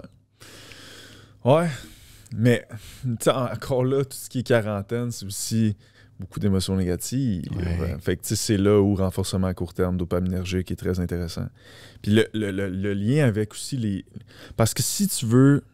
Le concept du Y de Guillaume, c'est que tu as ta branche de gauche, puis en haut de ta branche de gauche, c'est là que tu atteins tes objectifs. Fait que tu veux être sur ta branche de gauche. Ta branche de droite, tu tournes en rond, c'est des vieux patterns, c'est des automatiques, tu t'en vas nulle part. Sur ta branche de droite, tes renforcements à court terme dopaminergiques sont là. La drogue, l'alcool, la bouffe, etc. Si tu veux pas que ton cerveau aille se nourrir là, faut pas qu'il y ait beaucoup d'émotions négatives parce que c'est là qu'il a envie d'aller s'en chercher pour diminuer les émotions négatives. Ou faut que tu sois capable, sur ta branche de gauche, de donner des renforcements à toi-même. Donc, si tu vises tous des objectifs qui sont externes à introjectés, c'est pas interne, ça là. c'est de là l'importance d'avoir des objectifs qui viennent de soi. Parce que quand tu sens que tu progresses là-dessus, c'est des renforcements qui viennent de toi à toi. Là, ton cerveau, il a moins besoin d'aller se brancher ailleurs. Fait que le concept de viser quelque chose de manière juste, c'est deal breaker. là. Parce que ça va faire en sorte, est-ce que mon cerveau va vouloir aller se nourrir là ou, ou je suis capable de, de- de le garder à gauche? Selon toi, comment on fait pour vivre une vie avec du sens? Hmm. Il y a... Ce qui crée du sens, c'est d'avoir un objectif qui nous tient à cœur, sentir qu'on est en mouvement vers ça. C'est pas le petit drink d'alcool le vendredi soir. Ça, c'est une partie qui est bien correcte. ça s'appelle du plaisir. Mais moi, quand j'entends, j'ai déjà entendu mes clients me dire Ah ouais, je connais tel gars, là, il a pris sa retraite à 30 ans, puis tout, là, ça a l'air malade. Je suis comme Non, man. Tu, vas voir qu'en deux ans, il va détester sa vie. Parce que le sens se crée quand on a des objectifs et qu'on sent qu'on avance. Puis quand, est-ce que tu sens que tu avances? Quand tu as des petits défis. Puis là, tu te bois un petit défi. Puis là, tu te sens plus fort, plus fort, plus comme Chris, non, je suis capable de faire ça. Ta- vision de toi-même change. Tu dis, ah, je pensais pas que j'étais capable de faire ça. C'est là que le sens arrive. Puis en parallèle, ben oui, tu peux te faire plaisir. Je veux dire, c'est bien correct. Mais le bug actuel, c'est que le monde n'est que dans le plaisir et zéro sens. C'est pour ça qu'il y a bien du monde qui, une fois qu'ils ont leur retraite, soit recommencent à travailler à temps plein, à temps partiel, Ah ouais. ou qui se partent sur un autre projet, whatever, parce qu'il n'y a, il y a plus de sens à leur vie. Comme c'est pas une question de vivre pour travailler, de- euh, travailler pour. Ouais, c'est ça. C'est pas une question de vivre pour travailler nécessairement. C'est juste que quand tu travaillais, tu avais un sens, tu avais un but, tu avais quelque chose de concret à atteindre qui te rendait fier en Ouais. bout de ligne. Tu sais, Tu sais, il il y, en a beaucoup de gens aussi qui vont juste. Eux, ils vivent vraiment. Ils travaillent littéralement juste pour vivre, puis dès qu'ils ont fini de travailler, ils sont comme Ah, si, il était temps. Selon moi, c'est tellement. En fait, ils vivent pour travailler. Ouais, c'est ça. Mais c'est que selon moi, il manque tellement de sens à ta vie quand Ouais, tu fais ça. Il n'y a pas de. Ça, puis l'objectif, c'est juste un, un, un Christi de prétexte pour être en mouvement, vivre des défis. Genre, tu sais, relever ces défis-là, te sentir plus fort. C'est juste ça. là. Si tu veux l'atteindre ton objectif, tu vas être comme nice, j'en veux un plus gros. C'est juste un prétexte pour te sentir en mouvement. Et c'est là que tu as accès à un sens. Moi, là, quand, mettons, on fait un live, je me rappelle, je pense que c'était au mois de mai, on a fait un live euh, dans notre groupe client, puis il y avait plein de monde à la fin qui disait Hey, Merci, j'aime votre vision. Puis, Asti, que ça m'a fait du bien, j'étais comme Ça fait tellement longtemps que je bûche pour ça. J'ai-tu pas envie de manger un gâteau à ce moment-là? Je viens de me faire donner du renforcement interne que c'est comme Asti, ça fait combien de temps qu'on bûche parce que c'est important pour moi? Ça me tente pas, moi, d'aller manger de la merde. J'ai pas besoin de manger de la merde. J'ai plein de renforcements. Pour ça que ça te prend une diversité d'objectifs, de choses qui te parlent. Puis souvent, les gens, ils se donnent pas la permission de vivre ça. C'est comme Ah, j'aimerais ça, euh, faire ça, ouais, non. C'est comme si, si tu le ouais, non, t'es à la bonne place. Maintenant, vis ça. C'est parler en différents chapitres pour que ce soit trop huge. Mais c'est là qu'il faut que tu ailles. C'est exactement ça j'allais dire. C'est pour ça que souvent, de se donner des micros-objectifs à travers ton plus gros objectif, ça peut être bon parce que si tu as vraiment un objectif qui est très gros, plus tu as un gros objectif, plus il va aller loin dans le temps. À un moment donné, euh, si ton objectif c'est de perdre 100 livres parce que tu es vraiment overweight, donne-toi pas un objectif de 3 mois. Là. Mhm. À moins que tu fasses une liposuction, mais ça c'est une autre histoire. Euh, Ouais, en tout cas, ça, c'est une autre histoire. Euh, mais c'est pour ça que de se donner des petits objectifs along the way Mhm. peut vraiment t'aider à te garder motivé. Parce que si tu fais juste, tu sais, mettons, quelqu'un qui va aller monter le Kilimanjaro, là, si tu fais juste regarder le sommet tout le long que tu montes, là, hey, tu vas trouver le temps long en tabarnak. Ouais. Mais tu sais, en se trouvant des petits objectifs, puis en ayant comme des genres de checkpoints au fur et à mesure, ça peut te garder motivé à continuer. Puis, tu sais, quelqu'un qui a un, obje- un- mettons, un gros objectif de perte de poids, d'avoir des objectifs aussi, des fois, qui sont en dehors de la perte de poids. Parce que des fois, juste se concentrer sur le chiffre sa balance, ça peut être démoralisant parce que c'est jamais linéaire. Des fois, il y a des périodes où est-ce que c'est plus difficile. Des fois, il y a des périodes où ça va être plus un maintien. Des fois, il y a des périodes où est-ce qu'on n'aura pas le choix de remonter les calories parce que là, ben, on veut éviter les adaptations métaboliques. Tu es dans une période plus stressée, whatever. Fait que de se donner des objectifs, des fois, en dehors de ça. Sais, mettons quelqu'un qui a un objectif de perte de poids, OK, ben, on va trouver peut-être des objectifs de performance dans le gym, des affaires à, à essayer d'atteindre puis à essayer de progresser à chaque semaine. Euh, peut-être des objectifs en termes de, le nombre de pas que tu vas faire dans ta semaine, euh, des objectifs en termes de nombre de litres d'eau que tu vas boire, tu sais, comme des affaires en termes de social. OK, ben, mettons, euh, je sais pas, au lieu de passer de trois restos semaine, on va passer à deux, tu sais, juste tous les petits objectifs qui individuellement semblent anodins, mais qui cumulativement vont finir par t'amener ça de plus proche. Puis ça va toujours te donner un genre de renforcement positif que ce que je fais, ça fonctionne. Mhm. Fait que plus tu es capable d'aller chercher des micros objectifs à travers ça, plus tu vas te rapprocher du plus gros, mais plus tu vas être capable de rester motivé à continuer parce que tu vas toujours avoir le renforcement positif. Tandis que si tu fais juste focuser sur le plus gros, tu es comme c'est long en tabarnak. Mhm.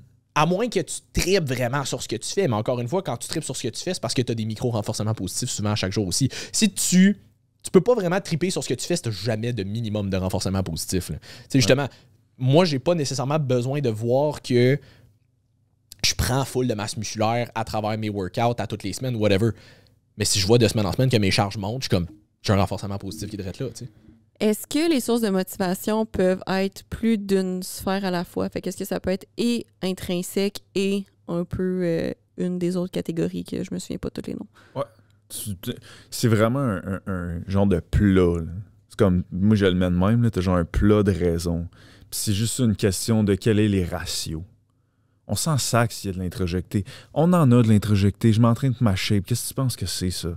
Mais c'est comme si toutes mes raisons sont introjectées et extrinsèques. Il est là le bug. Fait que c'est comme si j'ai des partiels de raisons extrinsèques introjectées. It's all good si j'en ai plein que c'est intrinsèque, intégré, puis identifié, mettons. Fait que c'est juste de d'avoir des bons ratios. Même chose sur branche de gauche, branche de droite. Si t'es 80% à gauche, 20% à droite, c'est bien correct. On Tu peux pas être 100% Ben là non plus. C'est pas ça que tu veux. C'est juste une game de ratio. Puis... Mais oui, c'est juste de bien balancer ça. Puis ça me fait penser, objectif de perdre de poids. Guillaume, là, la première fois qu'il avait parlé de ça, j'étais saisi. Il avait dit Moi, une cliente qui veut perdre du poids, je commence juste à travailler sur la perte de poids après deux ans. Damn.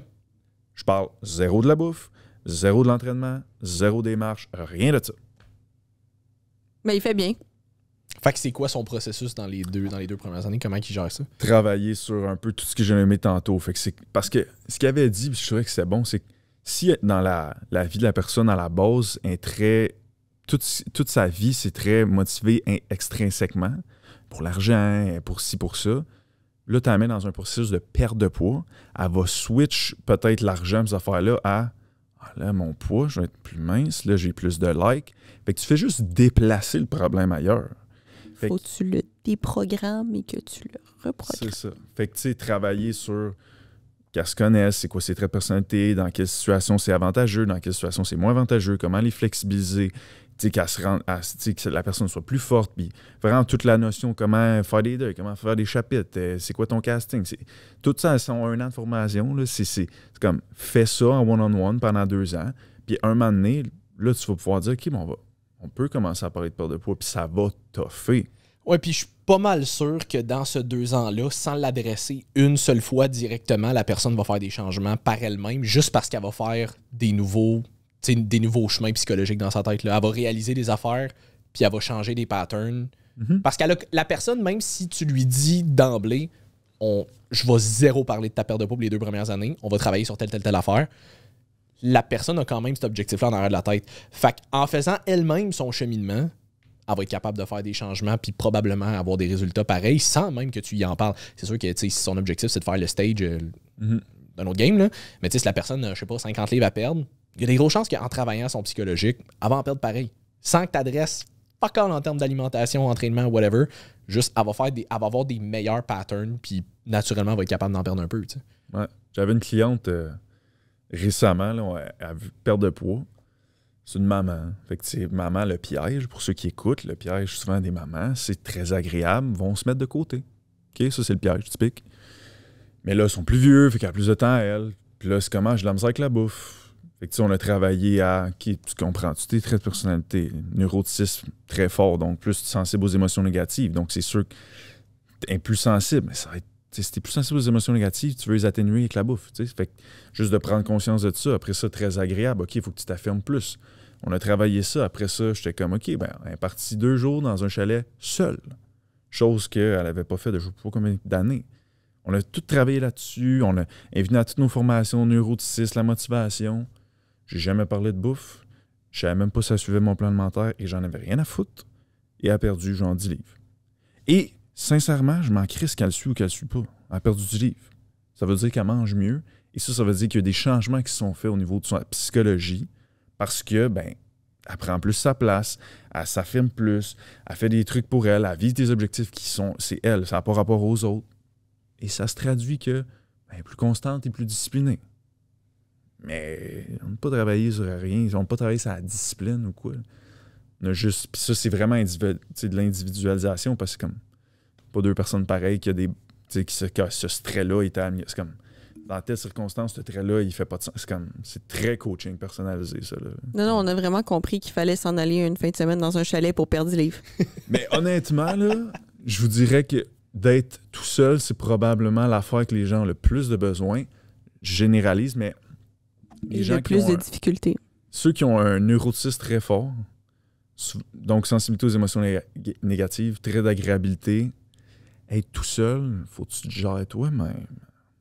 Puis là, c'est comme, ah là, si t'as besoin d'aide, faut que tu t'affirmes. Fait que c'est extrêmement puissant pour les gens qui ont beaucoup d'agréabilité, euh, beaucoup de neuroticisme. Puis là, on va rentrer dans les archétypes un peu, là, mais il y a un archétype qui s'appelle l'orphelin.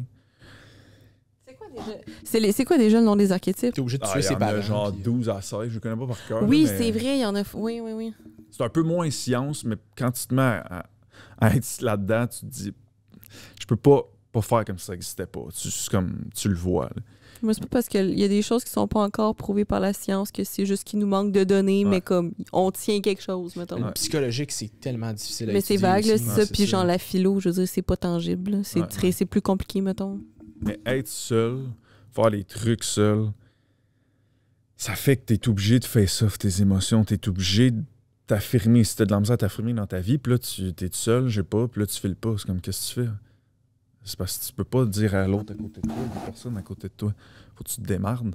Puis c'est- ce travail-là qui peut paraître banal va faire en sorte que quand tu reviens dans la vie réelle, tu t'affirmes plus, tu vis des émotions négatives, ton cerveau il se rappelle comment il les a gérées, il n'y a pas besoin des autres. Comme faire des trucs seul, c'est vraiment un game changer. Moi, j'essaie beaucoup de faire ça. J'étais allé au Centre Bell euh, dimanche, tout seul pour la fois de ma vie.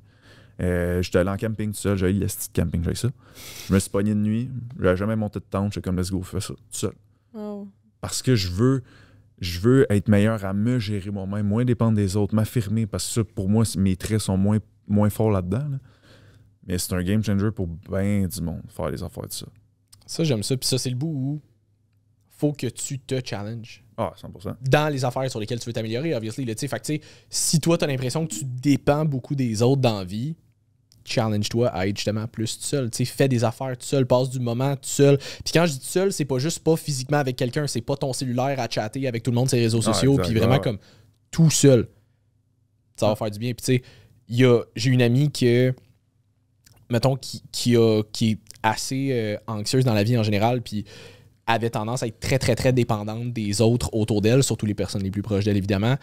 Puis, dans les dernières années, en étant tout seul plus, elle habite toute seule maintenant, etc., elle, a- elle va toujours rester quelqu'un d'anxieuse. Mais elle a quand même travaillé là-dessus, puis aujourd'hui, elle est capable de plus s'affirmer sur bien des affaires. Tu sais, elle me comptait des affaires, des fois, elle était comme Ah, à job, j'ai dit telle affaire à mon boss parce que j'étais vraiment tanné, j'étais comme Damn, Chris, t'aurais pas fait ça il y a 2-3 ans. Là. Fait que, tu sais, Mhm. mais c'est en travaillant sur les affaires sur lesquelles tu sais qu'il faut que tu travailles, même si c'est fucking inconfortable, Mhm. qu'à un moment donné, tu finis par t'améliorer puis ça devient plus tolérable. Encore là, ça te prend une raison pour justifier à ton cerveau de faire ça. Ouais.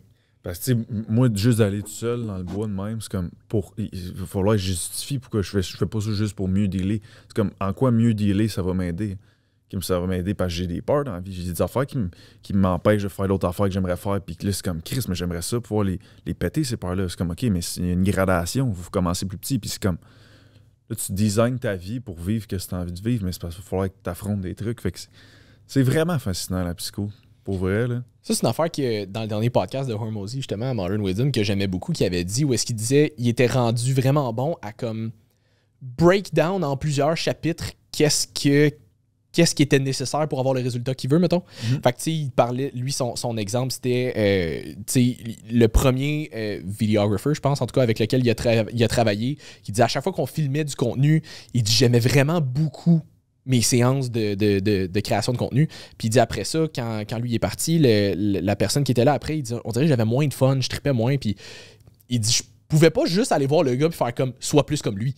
Parce ça veut rien dire. Ça veut, tu toi, tu reçois ça, puis t'es juste comme, ah, cool, ma, ma vie, c'est comme ce que je fais, c'est de la merde, tu sais. Mais il dit, si je suis capable d'expliquer concrètement qu'est-ce que j'ai de besoin pour donner le résultat que je veux, c'est beaucoup plus facile. Fait que, tu sais, mettons, euh, OK, ben, moi, j'ai- j'aimerais vraiment ça quand euh, je dis quelque chose de vraiment cool, que genre, tu me fasses un thumbs up, whatever, pour que j- j'aie comme un indicateur concret que tu as une écoute active, puis, ah, renforcement positif, ce que j'ai dit, c'était punché, tu sais. Euh, tu sais, viens me voir si, si jamais t'as as, des notes ou des pensées, whatever, viens me voir à la fin, prends des notes, on va regarder ça ensemble, on va essayer d'améliorer. Fait que de juste dire à quelqu'un, tu sais, mettons, euh, je sais pas, j'aimerais ça que tu arrêtes arrête de, de faire le cave, ça veut rien dire. Qu'est-ce que concrètement que je fais que tu aurais besoin que j'arrête de faire ou que je change ou que je modifie pour que ça soit mieux? Parce que juste dire arrête d'être un cave, merci de me dire que ce que je fais, c'est de la merde. tu sais. Versus, tu es capable de me dire spécifiquement telle affaire que tu fais, j'ai un problème avec pour telle raison. Ah, là, on peut l'adresser un petit peu plus concrètement. Puis c'est une affaire que j'ai tranquillement, parce que je veux pas, c'est quelque chose que, que faut que tu, tu build in comme, comme habitude. Mais c'est une affaire que tranquillement, j'essaie de faire où est-ce que si je veux, s'il y a un comportement que je veux qu'il change ou whatever, une attitude ou peu importe, qu'est-ce qui concrètement, selon moi, me dérange, puis qu'est-ce qu'on pourrait faire concrètement pour faire en sorte que le outcome général soit différent aussi. tu sais. Fait que plus on est capable d'ajouter de la précision dans le qu'est-ce qu'on fait, pourquoi on le fait, pourquoi ça me dérange, pourquoi ça va être mieux si on fait ça de même, plus ça va être atteignable, plus ça va sembler atteignable. Tandis que si je fais juste dire t'es de la merde en ce moment, tout ce que tu fais, c'est cave. Cool, je me sens comme un déchet. Le cerveau, il a besoin de précision. Plus c'est précis, plus, plus il catch. Tu sais, les discussions, il n'y a personne non plus qui nous a appris à communiquer. Comme j'inviterais tout le monde à faire le Psychom 1, 2, 3, Guillaume Dulude. Comme comment amener un sujet difficile, c'est un art. Là. Comme moi, à cette heure, j'ai- la structure grâce à Guillaume. C'est comme maintenant, mes conversations difficiles, j'ai prépare deux, trois semaines d'avance, j'écris mon texte, je les pratique. Ouais, ok, ça, il manque de ça. Je repratique deux, trois, quatre, cinq, six fois voix dans mon char. Comme ça, quand je l'ai, je te garantis que ça rentre au poste. Puis qu'on on fait du mouvement dans ce qu'on veut faire. Mais ça, encore là, pas personne qui nous a appris ça. C'est pour ça que je trouve le côté. Guillaume, moi, je trouve que comment il a structuré ses affaires, c'est c'est parfait. Parce que si tu as une insatisfaction souvent dans, dans ta vie, c'est rare qu'il n'y ait pas de communication impliquée. C'est rare en crise. Fait que là, l'autre bug, c'est comme, mais comment je communique? Comment t'écoutes? Sais, pas juste entendre des mots. Non, non, non. Écouter. Comment faire des reflets? Comment tu sais que l'autre, il est pas en train de t'écouter? C'est toutes des affaires qui se voient, ça. Fait que de- les deux ensemble, c'est comme, moi, je trouve que c'est là le game changer. Parce que là, t'es blindé. hein. Ouais, c'est vraiment cool. Puis l'affaire que j'aimais aussi beaucoup, c'était. euh, Ah, si je l'avais. Tu me l'as fait perdre. Une affaire que Hormozy a dit encore dans, dans son dernier podcast. Moi ou elle? Non, non, c'est ça. Bon, peut-être elle aussi. Là, je vais la blâmer, juste parce que j'aime ça la blâmer. Là. Euh, J'ai le dos tellement large. Vraiment pas, en plus. Euh... euh, Bon, je l'ai perdu, faire exprès, en tout cas. Mais, euh, mais oui, c'est ça. Une affaire que. Une affaire que tu as dit que j'aimais beaucoup, c'est justement le fait de. Ça peut avoir l'air niaiseux, mais de te préparer. Ah oui, ok, c'est ça. Ça m'est revenu. Tu sais, une affaire que, que j'aimais beaucoup qui disait, c'était le. Tu sais, c'est quoi le outcome, le résultat que je veux qui arrive avec l'échange qu'on va avoir? Puis c'est une des raisons pour lesquelles il dit j'essaye le plus possible de ne jamais prendre de décision sur le coup de l'émotion.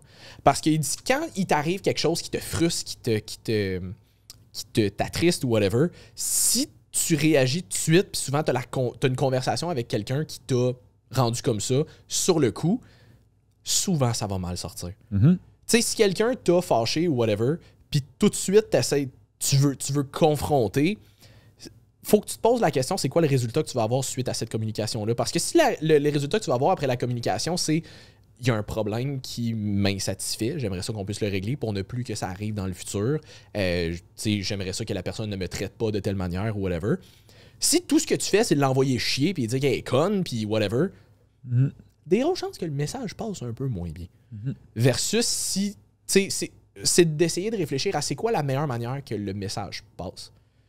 Puis souvent, la réponse est différente pour peu importe la personne avec qui, avec qui tu vas avoir cette conversation-là aussi, tu sais, mais c'est souvent les réactions sur l'émotion sont rarement les meilleures.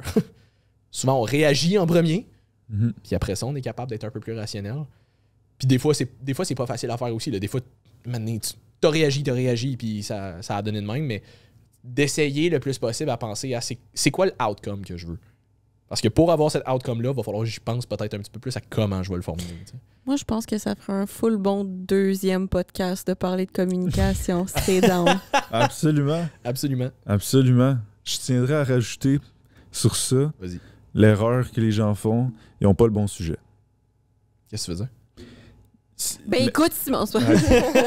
Exemple que. euh, il donnait cet exemple-là, Guillaume, l'autre fois. Mettons, ton, quand vous vous pognez chum blonde, l'autre, il boude. Puis là, tu veux y en parler. Le vrai sujet, c'est pas le boudage. Le vrai sujet, mettons, c'est comme. OK, mais quand on se fâche, comment on réagit? C'est ça le vrai sujet. Puis ça, là, quand on, on écrit, euh, on appelle ça un vecteur, pour quand on veut communiquer quelque chose à quelqu'un, c'est toujours l'erreur. Puis je l'ai fait plein de fois quand j'ai fait mes vecteurs. T'es pas sur le bon sujet. Soit ton sujet, il, il passera pas parce qu'il est trop lourd. Fait que là, faut que tu le décortiques. C'est vraiment.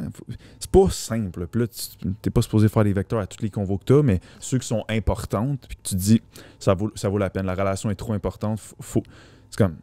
Tu peux. Guillaume me disait qu'il pouvait passer euh, 10 heures sur un vecteur. Hmm. Une affaire qu'il veut demander ou parler à quelqu'un. 10 heures. Mais quand il parle, il y a le bon sujet, puis ça amène à la prochaine étape, puis ça, ça contribue à, à faire grandir la relation plus qu'à à tout faire pogner ça là. Exact. Ta relation ne peut évoluer qu'au degré de vulnérabilité que les deux personnes veulent mettre dedans. exact. Voilà. Absolument. On aime Guillaume. Oui. Très bon mot de la fin. Hey Hugo, si t'avais un, un dernier mot sur lequel nous laisser. euh, un- Littéralement, un- hey, on l'a pas demandé à Vince Pifred. Oh, pas- on l'a pas fait à nous deux non plus, mais comme un, un final thoughts, mettons. Oh, final thoughts. Wow. Final thoughts, puis un dernier mot. Ouais. Un final thoughts. Moi, je. Ouais, c'est bon, c'est une bonne question, ça. Je pense que je dirais un peu comme j'ai dit tantôt, que le monde réalise que, comme, s'ils veulent réussir leur transformation physique, ça, ça pourra pas être séparé de leur vie. Ça, ça, ça peut pas être comme si c'était à part. C'est comme, non, non, non, mais c'est comme, ton cerveau, il, il- il est pareil dans le transfo qui est dans ton couple. Puis qui Si les gens peuvent retenir ça, de dire qu'il faut, faut, faut que je travaille sur moi, il faut que je me connaisse, mes traits de personnalité, dans quelle situation ils me sert, dans quelle situation ils me sert.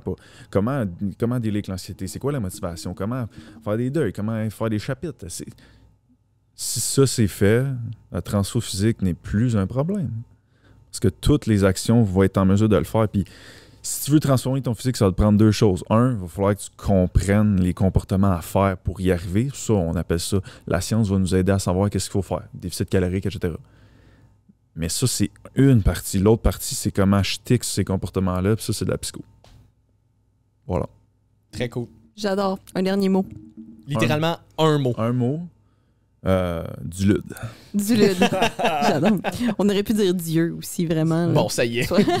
du lude. Ouais. C'est bon. Si vous voulez des suppléments NIH, euh, www.nihsupp.com avec le code WUACV10. Sinon, ils sont aussi en vente dans tous les shops santé. Yes, puis Hugo, si jamais on voulait en apprendre un peu plus sur toi, te faire euh, peut-être suivre par toi, pas dans la rue, mais comme en coaching, où est-ce qu'on où Ouais. est-ce qu'on te suit? Euh, Instagram, Hugo Baraba, Shell Performance. Podcast One More Rep. J'ai Simon, t'es venu deux fois. Ouais. Euh, sinon, on a le Muscle Lab, qui est euh, notre nouvelle plateforme de formation et plan d'entraînement. C'est complètement gratuit. Euh, on parle de psycho. Il y a des formations psycho là-dedans. Euh, donc, tout ce qui est les cinq traits de personnalité, il y a une formation là-dessus. Donc, c'est complètement gratuit. Fait que si les gens veulent en apprendre plus. ça. Très hot, c'est une bonne base Vraiment, pour tout ce que tu viens de dire aujourd'hui. Fait que j'encouragerais le monde à aller voir ça. Je pense que si vous avez aimé le podcast aujourd'hui, vous allez probablement aimer cette plateforme-là aussi. Ouais. Ouais. Fait Je que- tiens à, à- à dire comme disclaimer parce que je sais que ça peut être euh, psycho, pas pathologique. OK? Tout ce qui est de l'ordre du DSM-5, on touche pas à ça. On n'a pas les compétences, on n'a pas le droit. fait qu'on est vraiment dans tout ce qui est psychologie non pathologique. Euh, Comme aurait dit. Phil. euh, Je ne suis pas psychologue. Ouais. Très cool. Ben, merci beaucoup de t'être déplacé, d'avoir parlé de ça avec nous autres. autres. On voulait parler de aussi comme la science versus bro science de l'entraînement. Finalement, on est parti dans la psychologie tout le podcast. Ouais. On en fera un autre une autre fois, c'est pas grave. Ouais.